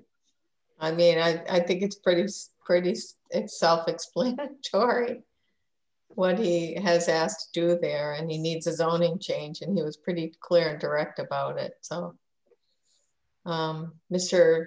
Stuto has your hand, have you have your hand raised. Yeah, and again, I mean, I'll, I'll read the motion. However, you know, do the recommended town meeting, but I would like to add that I feel like the voters spoke on this already. Well, the ones that showed up at uh, town meeting. So again, it's something where, I mean, Mr. Coviello stood up against the objection of select board and CPC and, you know, straight out said, I want to buy to put a building. So again, I would be, I'm ready to recommend it now just based on the fact that the voters told me what they thought about it. But I am willing to wait till recommend a town meeting if that's, you know, what the majority wants to do. Okay. Mr. Wallner? Well, um, you know, I, I said from the very beginning that I didn't think the town should buy that property, but I also said that I didn't think the town should be changing its bylaw. He bought it as is. Whatever he wants to do with it is up to him. But I never thought, I never would be recommending a change in bylaw. And he even uh, said something about giving some section of that to Parks and Rec, which I haven't heard a word of since. So just because he, just because the town voted to um, not buy that property doesn't mean that also meant that they wanted to change the bylaw. I, I don't see that connection at all. So I'm going to be voting against this. I plan to vote against this. Mr. O'Leary? Yeah, I, again, I just think uh, if we, we have another meeting before town meeting, I, I think we should pro provide an opportunity for the citizens petitioner again to come before us, make his presentation, uh, and again, to, to Mr. Stuto's point, you know, the majority of people that were at town meeting voted to purchase the, the farm. It just didn't achieve a two thirds vote. A more than substantial majority voted in favor of it. If you're looking into what the general populace was thinking about, more people went there to buy it than not buy it. So we just didn't achieve two thirds we got a significant majority. We fell 20, 22 votes short or something like that. But that being said, um, you know, then it's up to town meeting to decide whether they want to rezone it or not. I think Mr. Coviello should be given an opportunity to come and um, explain once again, you know, what his intentions are now that he has purchased it, as opposed to the town not purchasing it, and see if the plans have changed. It just provides another opportunity for the public to become better informed, uh, okay. myself included. So, so maybe we can see if they're willing to to do that. And so recommend a town meeting is the is the yeah, I'm in favor of recommending a town meeting, but I think we should provide the opportunity for them to come mm. and make a presentation. Okay. Okay. Mrs. Gonzalez? I'm ready to vote now. And and, and if you don't in, in favor of it? Mm -hmm. Okay. And um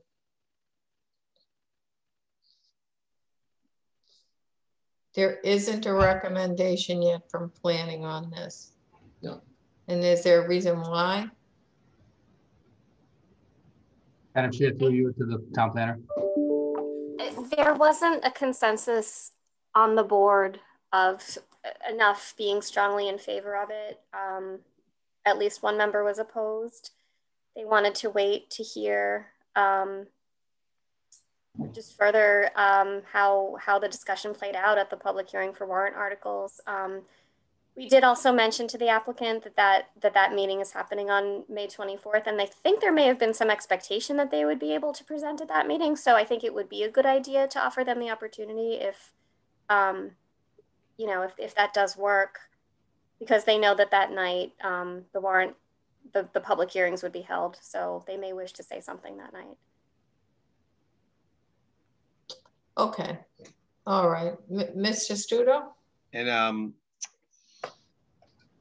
uh, Danielle, if that, if on the 24th, if Ms. Coviello comes, is there any way someone from the CPC can be there? Because I think something like this, like I, I really do think their opinion would matter and just give us some guidance because I mean, the select board is then, if we can't get an opinion, I mean, we're gonna be flying blind from what the CPC thinks up until discussion starts at town meeting. So, I mean, if, if someone could come and comment on this, I mean, it, it it's really, you know, I, I think it will- it would help me, because I was at that meeting, Danielle, that you're referencing, and I kind of left where it's like, all right, well, I guess I'll hear something before we have to decide on select board, and, you know, that time is, well, now coming. So I don't know if there's something where you can pass on, if someone can be uh, on that meeting from CPC to at least give an opinion of some point. I would find it helpful anyways. I can pass that along. Um, I know they do intend to be at the, the May 24th meeting um, just because it's the, the public hearings on the warrant articles. But I can pass that along. All right, so I think we need to move this along, but okay, Mr. Mr. Oh, oh, I'm sorry, Mr. O'Leary. No, I, I, think it's incumbent upon the planning commission to make a recommendation. It's a suggested change in the zoning bylaws. It's clearly within their jurisdiction and domain. And I certainly would like to, uh, to hear the recommendation, you know, Right. prior to the board making a, taking a position on it, because again, it is certainly within their domain. And, um, you know, if we could post a joint meeting and they want to make a recommendation that night, that'll be helpful. Okay, thank you. So, and just from the chair, I would, I was ready to vote in favor of this, recommending this, but I can understand my colleagues, um, my colleagues, your hesitation with regard to this. I sort of agree with what Mr. Stuto said. I mean, I understand what you're saying, Mr. O'Leary, but there weren't enough people even in that area that showed up to vote at the town meeting when the question of us acquiring the farm was raised. So I agree with Mr. Stuto. The lack of people at the town meeting was enough for me to say that, you know, there, there isn't much of a there isn't much of a concern at all with regard to what Mr. Caviello, Caviello wants to, to do there. And he's been pretty upfront about what he wants to use it for. So I'd be in favor of the petition to amend the zoning and but at the same time, I can hear my colleagues' concerns and I agree that, you know, certainly we should have the weigh-in of, of planning board on this. Um, So so, so we'll, oh, I'm sorry, Yeah. Mr. Stuto. No, I was gonna say, like, then it just seems like recommended Town meeting, yeah. town and then- meeting. And then we'll follow along this course of a- asking the petitioner to come in and do a brief presentation and ask for a, a recommendation from planning as well on, the- on the, um, on the article. so- So we could see what's, so then we may be able to, you know, have a more informed vote. All right, so, so did we make a motion? No, but I will. Oh, yeah. Madam Chair, I move to recommend a town meeting Article thirty-one, citizens petition amend zoning bylaws, map eighteen parcels 13, 14, and fifteen. Second. Motion by Mr. Stuto to recommend a town meeting, seconded by Mr. O'Leary. Any further discussion? Seeing none. Mr. O'Leary. Aye. Mr. Wallner. Aye. Mr. Stuto. Aye. Mrs. Gonzalez. Aye. Manupelli is aye. Madam Chair, through you, Article 32 would be to amend the zoning map to reflect the changes contemplated in Article 31. Based on the board's previous vote, my recommendation would be to vote to recommend at town meeting this article. Motion. Madam Chair, I move to recommend at town meeting, Article thirty-two, amend code zoning bylaw section 200-30 zoning map, four twelve and fourteen Concord Street. Second. Motion by Mr. Stuto, second by Mr. O'Leary. Any further discussion? Seeing none. Mr. O'Leary. Aye. Mr. Wallner. Aye. Mr. Stuto. Aye. Mrs. Gonzalez. Aye. Manupelli is aye. Madam Chair, through you, um, I believe when we get to the next agenda item, there is a motion to vote to sign the town meeting warrant. Okay. So let's see here. Get back After all of that, I hope we are favorable, can act favorably on this. Next order of business. Well, I was gonna say, we, we voted unanimously on all 32 articles, so that's a good, that's a good sign.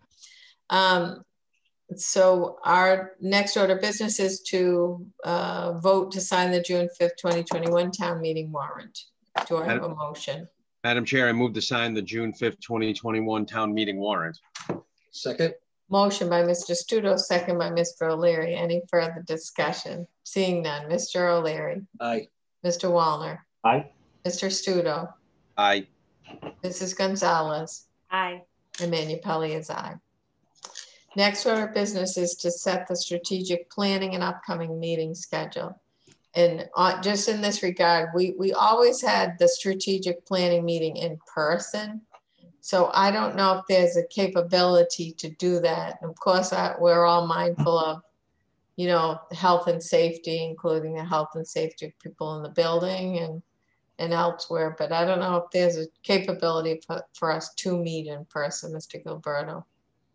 Um, Madam Chair, through you, we historically have not had a, um, you know, a large crowd for the strategic planning meeting. So I think it's, you know, on, on the scale, it's one that's, you know, more likely to be successful in person than, for example, some of like even this evening's meeting where we had 25 mm. people, you know, show up. Um, I can tell you, and I, you know, I was going to speak to it later on, you know, we are looking to uh, opening the town hall for walk-in service beginning um, a week from today, um, Monday, May 17th. Be limited hours um, in the mornings, Monday, Wednesday, and Friday, and in the afternoons on Tuesdays and Thursdays. So you know, here in this building, we're working in that direction towards in-person things. Um, you know, but that said, I, I, certainly would defer to the board as to its preferences. And there's also the matter of dates as well. Um, we do have another busy few weeks coming up with meetings, yeah. and you'll see that when we talk about the meeting schedule. So, um, you know, I don't know whether there's going to be a need for two regular meetings in June, particularly with the uh, early town meeting. Um, you could use one of those dates if you wanted to, and um, you could go from there. Okay. Um, I, I, would say that if we're meeting in person, we likely would not be in the smaller room that we're normally in. We probably would look to to do something either in room 14 or in the gym. I have a Mr. Stuto? With the strategic planning meeting, well, what's the month that it would happen in? It customarily has occurred in September or October. Okay, so I have a pretty then then here's um here's my thought. Unless something dramatic happens as of mid-July, because I think the governor is going to move up it by two weeks, August 1st, we're going to be fully open without any restrictions. To me, as soon as that happens, I don't think I, I don't even think this should be a discussion of whether this happens in person. If I can go to a bar with a thousand of my closest friends, I can meet with you. So that's my opinion. I think we, I mean, if, if it's in September, then in my opinion, not having it in person, I mean, by then I expect us, these meetings to be back in person way before then. So the strategic planning meeting, I see no reason to even attempt to schedule something that's not in person. Okay, Unless, we, we're not scheduling it for September. We missed it last September, so we wanna we wanna focus in on that. Oh, okay, but I thought so we said... can get back into into order on our strategic planning mission because we missed. Oh, we're not it. doing September. Oh, no, that's why I asked the TA, Madam Chair, and he said September. That's what I was. yeah. no, no, we're trying to. to schedule it now for the one that we missed six, seven months ago. So, okay. so if we can put some, we can lock in some dates for our next mm-hmm. meetings and then lock in some availability of the members for the strategic planning. And, and then I think my question to Mr. Gilleberto was just, just the logistics of it. And if that, if it's possible, I'm sure we're going to be meeting again before we have the strategic planning meeting. It's not something we're going to be doing this weekend. So let's, why don't we why don't we focus in on the the meeting schedule moving ahead? And Mr. Gilleberto, do you have any anything proposed for that? We have yes. So the board scheduled to meet May 24th for a regular meeting. It will include the warrant article hearing for June town meeting. Our recommendation was going to be to um, schedule a virtual meeting um, for the morning of Friday, June 4th, which is the day before town meeting for any remaining business that uh, may not be addressed and that may save us the, the challenge of having to meet in person on the field at town meeting. I chose the Friday because it just seems to often be the day that board members are available. Um, but we could, we can have that meeting happen at any point in time. And, and honestly, if the board wanted to elect to meet in person on the field right prior to town meeting, it could also do that. Um, but I just put that out there as a suggestion. Saturday, June 5th is the date of the town meeting, um, which will begin at nine o'clock in the morning on the turf field. And then if we were to go with the first and third customary meeting schedule uh, for Mondays, it would be June 7th and 21st. So I put those out there for discussion. And then we can decide how the board wants to handle the July and August meetings, or it could de delay doing that until a future meeting.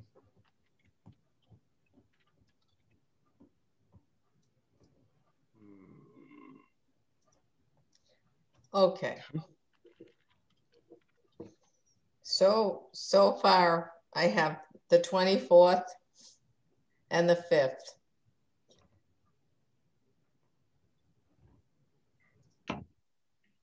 So we want to do Friday morning or or earlier before the meeting on the 5th? Can the members make it earlier before the meeting on the 5th? Okay. Yes. Do you want us, to, can all, all of you make, it? can we all make it there? This is this is Saturday morning or Friday morning? Saturday morning, So that would be in person, Madam Chair, through you, yes. on the field at town, at, at town, right before town meeting. Mhm. I'm good. I can do that. Mr. Stuto, you good with Mhm. that? Mr. O'Leary, you good with that? I think that's fine. Do we want to say eight AM? Eight fifteen? I'll be there earlier than that, so it Well, doesn't. What say- time- the town meeting starts at what, 10? At nine. Oh, nine. It's at nine, oh, okay. Nine. Oh, I had 10. Good thing we talked about this. So we wanted to get going because of the risk of, you know, potential warmer temperatures. You better go for eight. Yeah. Eight Do o'clock. you want to fine say with eight. eight fifteen then? We'll meet at eight fifteen? Does I that can work, do- Mr. Gilleberto? That's whatever the board's preference. Okay, You could also set the time once you have your next meeting, you know, when you have a better idea of what's left to be dealt with. sure, sure. All right, so why don't we schedule that? We'll say, we'll hold it, hold it at eight for the moment, Yeah. okay? Because the last 15 minutes is going to be gone. People are going to be coming, talking, stuff like that. It'll be hard to do it. Okay. All right, so that covers the final votes that we need to take in the town meeting. And then beyond that, in June, we'll have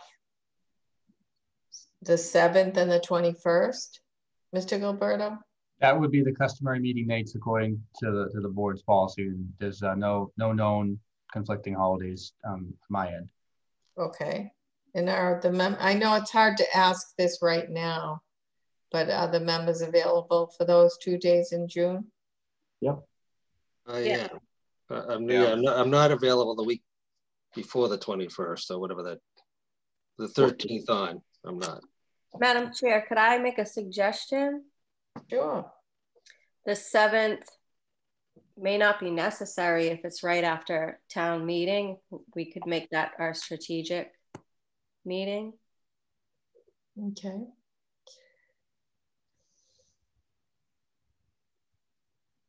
And Mr. O'Leary, you said you're not available on the 14th? Correct. Okay. So would that work, Mr. Gilleberto? Sure, it's whatever the board's strategic preference. plan? Yeah, Okay, I would just say, you know, for those who are are, are watching, that there may be other boards and committees that are, are you know, are going to be looking to meet in person, and we, we're not not quite there in terms of being able to accommodate every meeting. Um, again, as I as I noted, this is one that's a smaller one. I, I know Mr. Wallner, you've mentioned the Forest Committee as well. I think that they're a great candidate to meet in person as well if we can find the right room, because they don't generally have a large crowd. Yeah. So I just, if there's other folks watching, I just want to make sure they know we, we still have some work to do before we can say all the meetings are going to be happening in person. This just happens to be a meeting that traditionally does not get, you know, gather a large crowd. Well, I, I personally am uh, still a little bit concerned as far as meeting in person because again, I, I don't know what everybody else's status is, but I'm fully vaccinated. And I'm not uh, going to get to Mr. Stuto's point when everything's open up. I go to I go to a bar with a thousand other people there, you know, uh, but that's a choice I get to make. Uh, and I think the choices still have to be available. And I think you know, without getting into anybody's personal business at this particular point in time, I would like to know who's going to be attending and again, whether they've been fully vaccinated or not before I put myself and my family or anybody else at risk. So. Okay. I, I Uh, also, you know, to me, also me, think to me, we're getting very close here. We're getting very close, and to me, Yeah. we shouldn't we shouldn't rush it. We shouldn't rush things unnecessarily. And I think too, if we do host the meeting in person, we would have to make it, we would have to stream it live to be able to be accessible to others, you know, that we're not, we don't necessarily, we might be able to meet, but not have others attending the meeting under the current, unless that gets changed.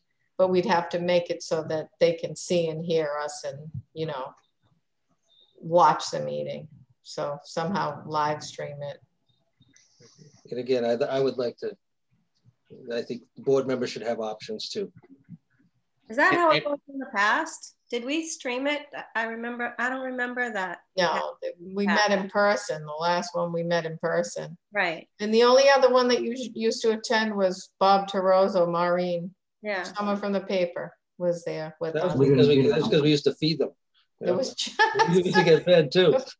And we didn't, was- and we didn't meet on a Monday. We met at the community room last time we did it in the police station. So Was the had- police yes. We didn't even have Jane with us. Michael took the notes. Yeah. Yeah.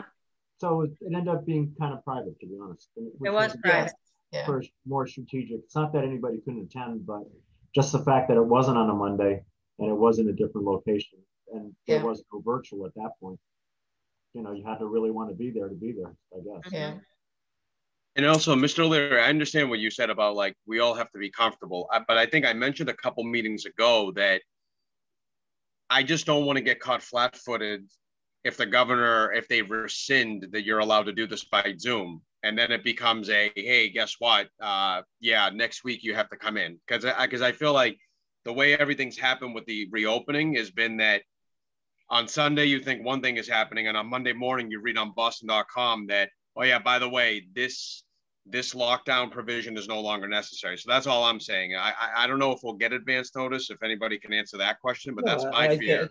Yeah, no, I think what uh, you know what what needs to happen is is if this temporary situation, which allows us to meet in this venue, you know, finally gets suspended and is or run its course, you know, that's when things are truly opened up, right? Okay, Uh, and, and again, makes sense. you know, um, you know, how soon that's going to be, I don't know, because again, it comes down to comfort level for, and again, it's across the Commonwealth, across the country, you know, as to whether or not people are ready to uh, venture out as much as others, you know, and uh, you know, to me, I've been uh, pretty cautious, and uh, along with a lot of other people, and I think the end is is coming closely and quickly, but again, I don't want to be stupid about it either.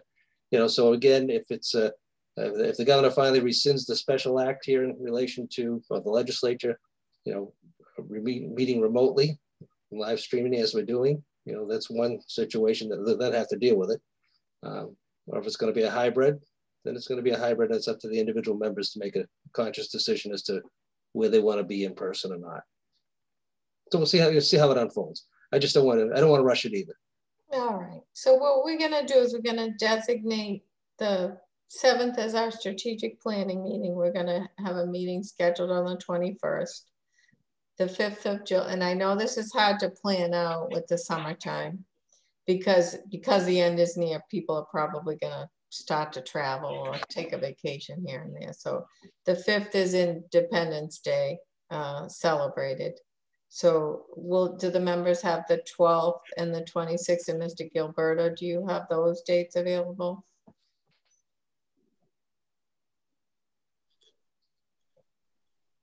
Can we wait on July? See what business is available? Again, I, I don't know. I mean, we can put it down, but it's, uh, you know, I mean, do we usually do two in July? I don't remember last year doing two unless it was warranted, but. Well, last year was different. I mean, yeah, because some years we do, some years we don't. It depends upon everybody's schedule and and the business at hand and whether or not. Sometimes we reserve the opportunity if something comes up, the administration needs needs the board to meet. We'll Okay. we'll do it. But So can we like choose the dates, but then if there's nothing going on, just not do it? Is that Oh, yeah. okay? Yeah, done that too. All right, I didn't, As Mi- Mr. Gilleberto's pretty good about letting us know there's a light agenda, or maybe not a nec- necessity to have the meeting, but I'm just trying to say some, if, and, and then we, we might be able to do that. I'm just trying to, I know it's hard to plug the dates in, but we usually, we usually do meet twice a month. So I don't know what your thought is, Mr. Gilleberto. Do you want to wait on July or? No, I- it's up to the board members. Uh, I can tell you that um, I would, I am not available on the 19th, but it looks like the 12th and the 26th I, I, I would be available for. Okay. So maybe we just pick, pick one date in July and one day in August to cover at least meeting at least once during those two months. Okay? Does everybody have the 12th available? yes. Yeah. birthday, all right. I haven't been told by my social director yet. I know. Want to have Hope- a birthday off? Hopefully not, right? Hopefully you'll, you will be going somewhere. It would be nice, but let's plug that in and as we arrive to the date, if it becomes a problem, I, and we can be flexible. Mr. O'Leary, that makes two of us, by the way. I heard your comment. So I'm, uh, yeah, I haven't, I haven't received my July schedule that, you know, it's a whiteboard that, you know, it's only, I only get 30 days in advance notice. Right there by the refrigerator. Well, we'll, we'll tentatively hold on to July 12th and how does, how is Mr. Gilleberto, what do you want to recommend after that? August 2nd? My um, my social director has previously told me my August schedule, but I don't remember it. so unfortunately, I'm.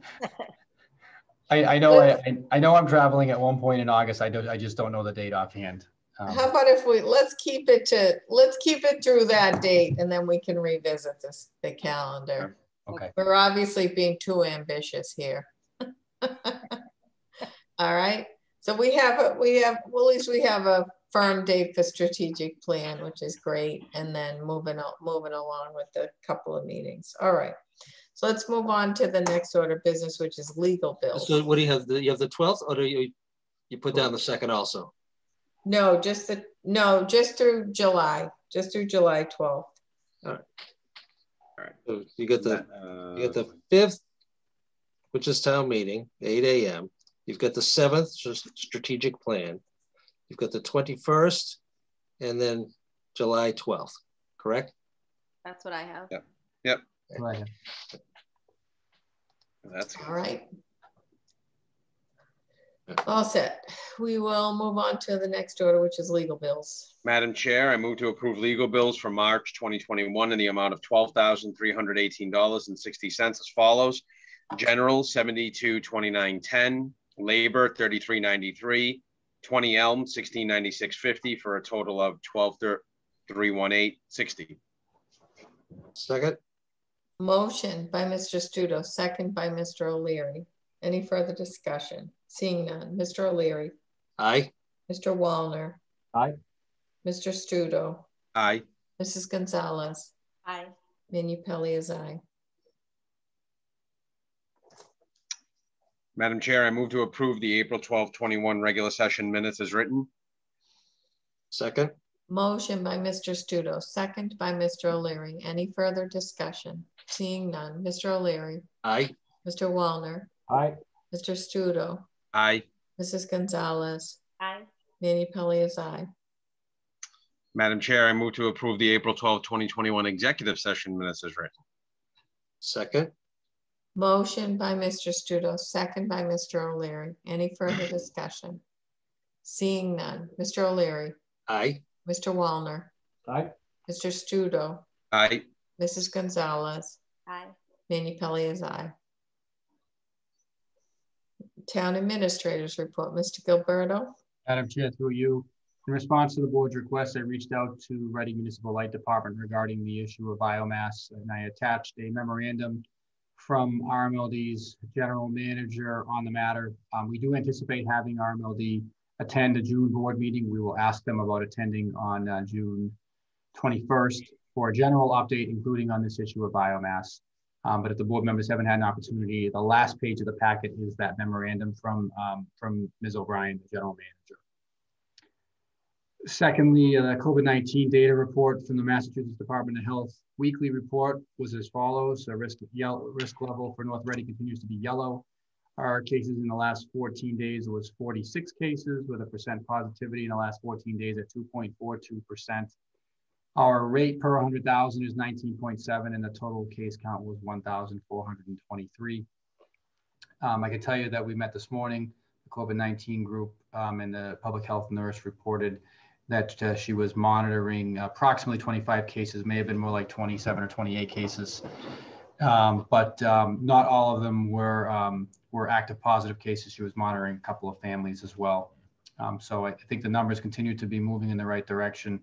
Um, I think notably the superintendent reported, uh, if I heard him correctly, that we had not had a, a, single positive case in the schools going back to the 1st of May. Um, so knock on wood on that, uh, things seem to be going um, going well there. Um, I mentioned uh, earlier in the meeting that we are looking um, at uh, reopening um, for walk-in hours on a limited basis here in the town hall, beginning one week from today. Um, so that's something that uh, we're all working eagerly towards. And um, you know, we'll look to evaluate how that goes over the coming weeks, the coming days and weeks once uh, in place. And I, I just want to recognize the town hall employees who have all been providing some feedback and insight about things that we uh, should be mindful of and, and be prepared to address along the way as we uh, look at that. And I think you probably all have heard or seen in the past uh, 48 hours that the library similarly is going to be reopening for scheduled browsing visits uh, this Wednesday, May 12th. Um, the Edith O'Leary Senior Center uh, will continue to offer uh, in-person appointments um, as necessary, um, um, scheduled in advance. They've been doing that for a number of months, so including for tax preparation purposes or for other resources. So that will continue to be the case don't quite have a timeline yet on uh, gatherings or, or in-person events at the senior center um, beyond that, but we'll continue to work towards that as conditions um, you know permit. Um, and I, I, just I know I said it kind of quickly earlier in the meeting when we are talking about the um, borrowing, but um, it was certainly some good news to see our bond rating uh, affirmed by Moody's. Um, you know, I do think that you know we should be looking in the future towards um, you know what where our strengths are, where our weaknesses are, and how we can we can get um, you know make a stronger case. And I think it will um, it will come in the form of looking at our budget and trying to adjust things, um, you know, so that we're accounting for the revenues and the expenses um, maybe a bit more closely, but not having to rely on that transfer from the free cash that we've been utilizing the past few years in the budget. So we'll continue to work on that with the financial planning team. And I believe that concludes uh, updates on my end for this evening, Madam Chair. Thank you. Any questions? Uh, just a comment. Thank you for following up with uh, Reading Municipal Light, and I look forward to having them come speak to us. It's great. Thank you. Yep, no problem. All set? Okay, now board member reports. Mr. O'Leary? Um, just that uh, Hillview is continues to be um, busy in not just in relation with golf, but also as far as the facility itself and trying to uh, attract uh, some people to to operate the pub. Again, been a challenge, uh, and there's been discussions with the town administrator just as recently as this week that uh, potentially going back out to bid, uh, getting requests for proposals for the license agreement. Um, so the discussion about that still ongoing. Just want the board members to be aware that uh, you know the commission is looking at uh, various different alternatives in relation to contracting or the licensing, the timing of the licensing and what are we really looking for, depending upon what that brings in, you know, again, looking at, you know, what do we really want to do with the facility looking forward. So um, a lot of discussion, a lot of activity, and uh, other than that, uh, nothing else to report at this time on the board member reports. Thanks, Mr. O'Leary. Mr. Astuto?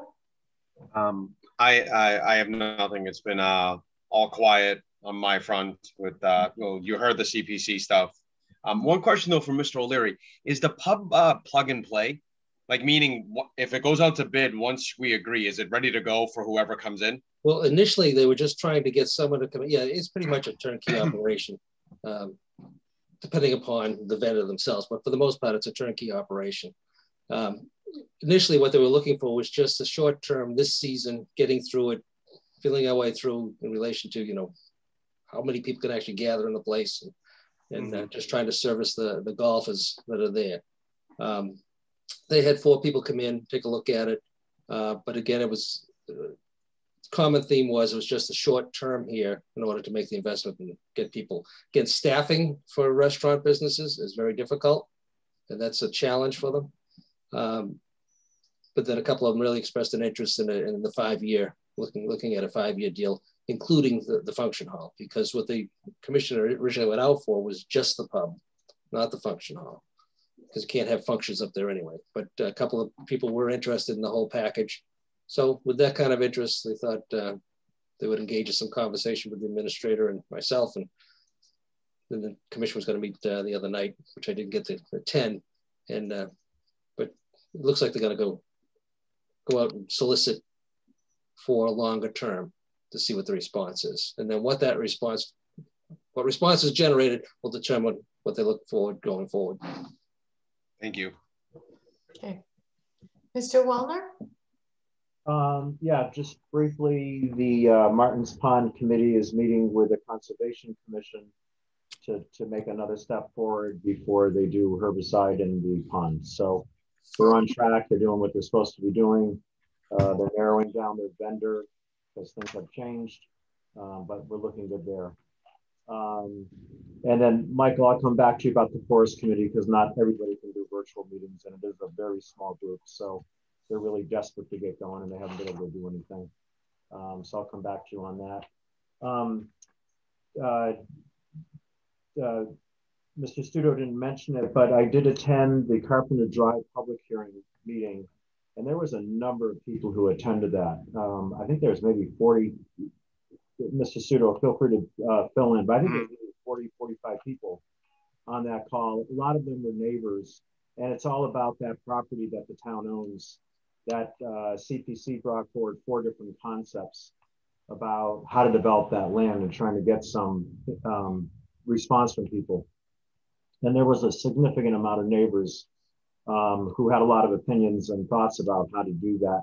And I think we have, as a board, have been, uh, I have received at least three letters about that, um, you know, and expressing some resistance. So anyways, um, it was good to hear the community output about it um, you know, there's just concern about that. But I come to realize that personally, um, while I at this point don't have a direct responsibility, I just don't know visually what people are talking about. So I'm planning to do a visit out there. And I, I don't think this poses any rules, but if, if someone wanted to join me, I was thinking of getting one or two of these people to actually kind of take me on a tour and show me what's going on because it's a big project. It'd be something, again, it falls in line with things we want to do. And I'm going to plan to go visit. And if somebody wanted to join me, they're welcome to. If not, I'll just do it independently unless I'm breaking some sort of rule. Um, uh, but it, there was a lot of interest. I was surprised at how many people showed up for that because it wasn't well advertised as far as I could tell. Um, and then the other thing, I'll just ask Leanne to comment on, uh, Ms. Gonzalez, if you comment on, we continue to get letters about trash and recycling. And I'm just, just to get an update from you when you talk about what's going on with that, because like potholes, town seems to be really uh, focused on this and we should be as responsive as we possibly can. That's it. Thank you. Thank you. Mrs. Gonzalez. Um, yeah, so I, I didn't really have any updates, but um, I will respond to Mr. Wallner. Um, um, the TA and I have had discussions about that very recently. Um, we're just going to go forward, like we said. Um, the, the the contract is the contract, but we can still look at um, stickers, just doing it in a different way. There's different ideas. Um, still having a two trash limit, but anything beyond that, having a sticker to pay for the extra trash. Um, just different ideas like that. As far as the other stuff, it's a little more complicated, and I would turn that over to the TA to comment on that. Um, which part? Which part? the Which trash, complicated the part? Municipal. potholes, the potholes, the trash of Carpenter Drive. I think you were referring to the municipality part of it, Mr. Wallner, and the school. I was giving it as an example. People get really worked up about potholes, right? Oh, And I right. didn't realize how much people get worked up about trash. You know, Trash, okay. It's, All it's a right. big- it's become a big issue. So that's all. that, that was my only point. Nobody's complaining No, about. I can, I'm the biggest offender of that. I, I'll, I'm gonna start sending pictures to Mr. Gilleberto of all the, no, I'm just kidding.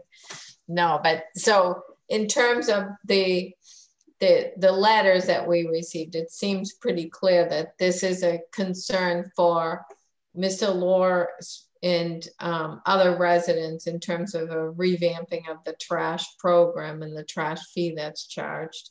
And so there was some, uh, you know, he, he did implore the finance committee to take a look at the legality of it. However, there was, that's really not their purview to look at the legality of it. And he's presented to us previously the distinction between um, the fee paying paying for residence removal and the fee associated with removal of municipal and school buildings. And I think I do know in talking with the town administrator that that amount that that cost is kind of uh, nominal in comparison to the entire program. And I don't know if you want to share that information, Mr. Gilleberto, but I, I think that helps frame it in terms of, you know, a kind of a revamping or a repealing or a, you know, modification to it.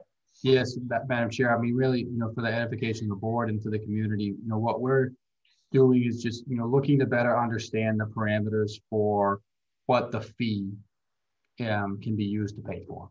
And, um, you know, there was uh, some guidance that was given to us um, by, um, by a resident, you know, from the Department of Revenue that we're looking at closely and that we are reviewing with town counsel. Um, you know, we're, we're really focused on that and making sure that, that, you know, that that we are, are aligned to the extent possible.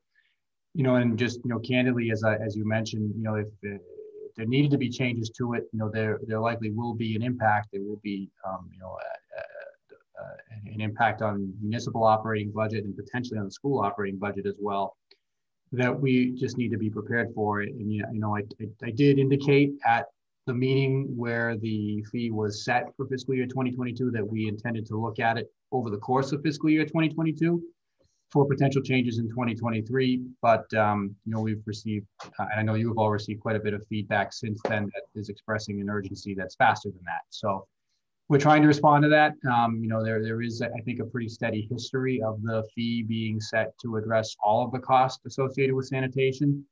Um, and we've carried that forward over the years. Um, but you know, we're being being asked to look at at it and look into it, and, and that is what we're doing. Um, but you know, not we're not at the point where we could responsibly say to you, you need to make a change to the program at this to this dollar amount because it's just a number of remaining unanswered questions. But we're committed to answering those questions. Yeah, I think that's. I mean, I think that's really all I'm asking for is, you know, we got someone like Tony La- LaRue who's, you know, he wants to contribute and, you know, all we have to say is we're working on it, you know, and thanks for your information. I mean, it, you know, that's, because he's, he's done a lot of work to write it up. And so I- thank you for doing that.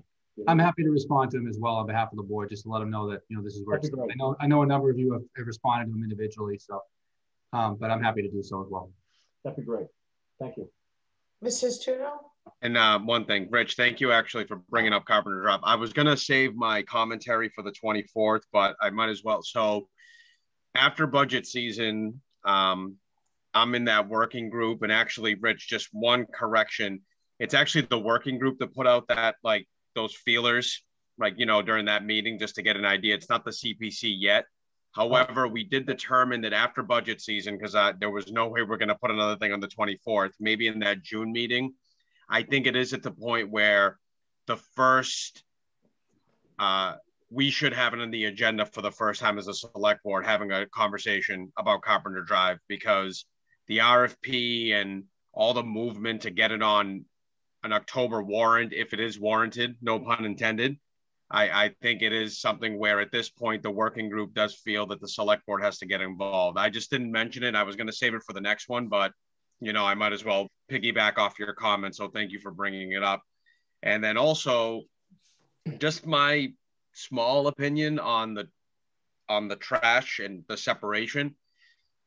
My question always was it doesn't have to be answered now, but if we separate the municipal or school trash budget, whatever that is, and bill it a different way, isn't it still sand in the sandbox? It's not like we can tell Reading, hey, can you pay the North Reading school trash bill? Like, so my thing is that I feel like we have to just be very honest and transparent to all the residents that if we remove it from this part of the sheet and put it somewhere else, and again, I'm not an expert of town budget, but one way or the other, this has to get paid.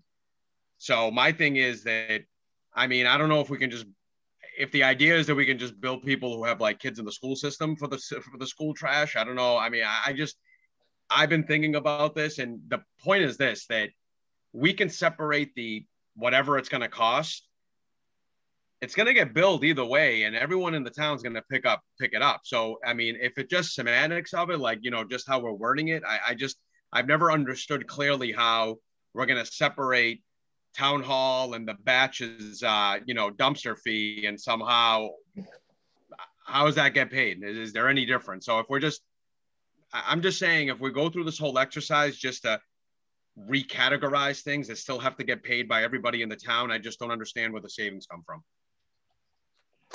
Okay. Mr. O'Leary? Yeah, I don't think there's going to be any, there's not going to be any savings. The cost is what it is. It's just a question of who's picking up the tab for it.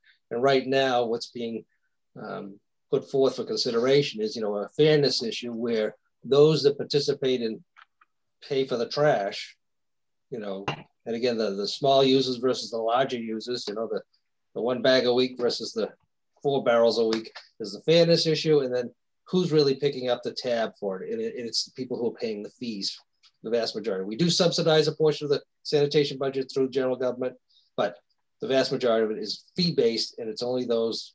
So it's a small user, again, are, are paying the bulk of, of the cost for everybody else for the larger users, including us. So including us meaning general government and schools. So I, again, it's, it's Lorray, Tony Lorray, Lorray. Um, oh, I said Laura. Uh, yeah, yeah, yes, Lorray. But but he, yeah, Lorray. you know, he's raised some very good and legitimate points, and I think it's, it warrants uh, some close consideration in short order, not over a whole year here. As to you know, and again, we don't have to reinvent the wheel. There's 351 other cities and towns around here that are doing things, and uh, you know, I, I think it fairness is a, is a big issue. And again, what I've been hearing from people, um, it's mostly that. And I've been hearing mostly from people who are, who are small users, you know, and living next door to large users, and they just don't think it's fair. Why am I paying the same amount? You know. So anyway, um, but the, right. you know, to the question, Vincenzo, it's like, you know, if we take that those portions out and put it in the general government and put it in the tax bill, then everybody's sharing in the cost of taking care of general government and school department trash, right? As opposed to putting it on the, mm-hmm. the fee based users. So.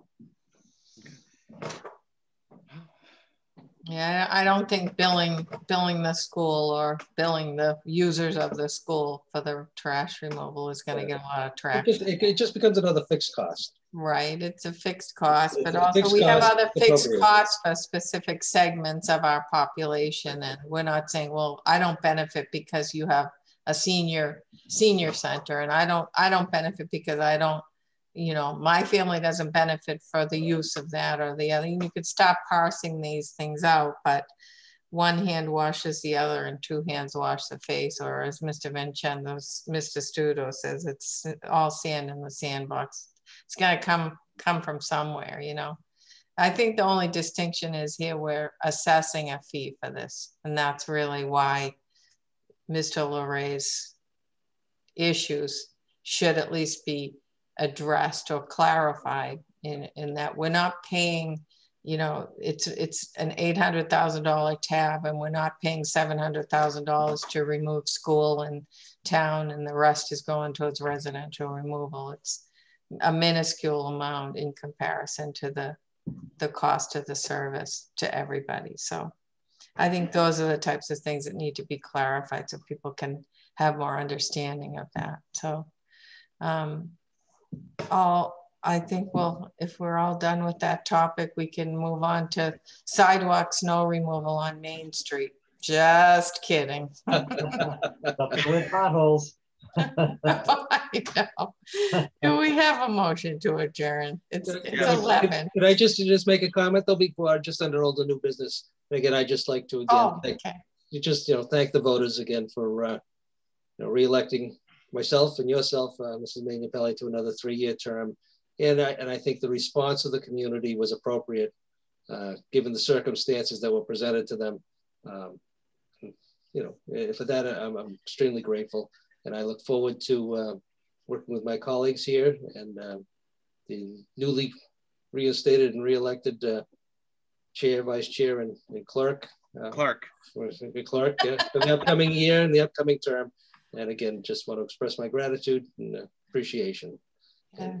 Here, here. That's it. Okay, motion to it. Oh, boy. I just want to congratulate the two of you for, for Okay, thank you. Yes, thank you. All right, motion to adjourn. I was trying to get us done by before 11, but that didn't work. It's uh, motion to adjourn. I'll second that too. Second. I, I keep seconding things, so it's easier for Mr. Gilleberto just. to- I, I- you know, you, you know, you, A lot easier. No questions. That's I'll- true. Who of that? all right. So motion by Mr. Stuto, second by Mr. O'Leary. Mr. O'Leary, Aye. Mr. Wallner, Aye. Mr. Stuto, Aye. Mrs. Gonzalez. And we saw you say aye, but we couldn't hear you. And Manupelli is aye. All right. Have a good rest of your evening, folks. Good night.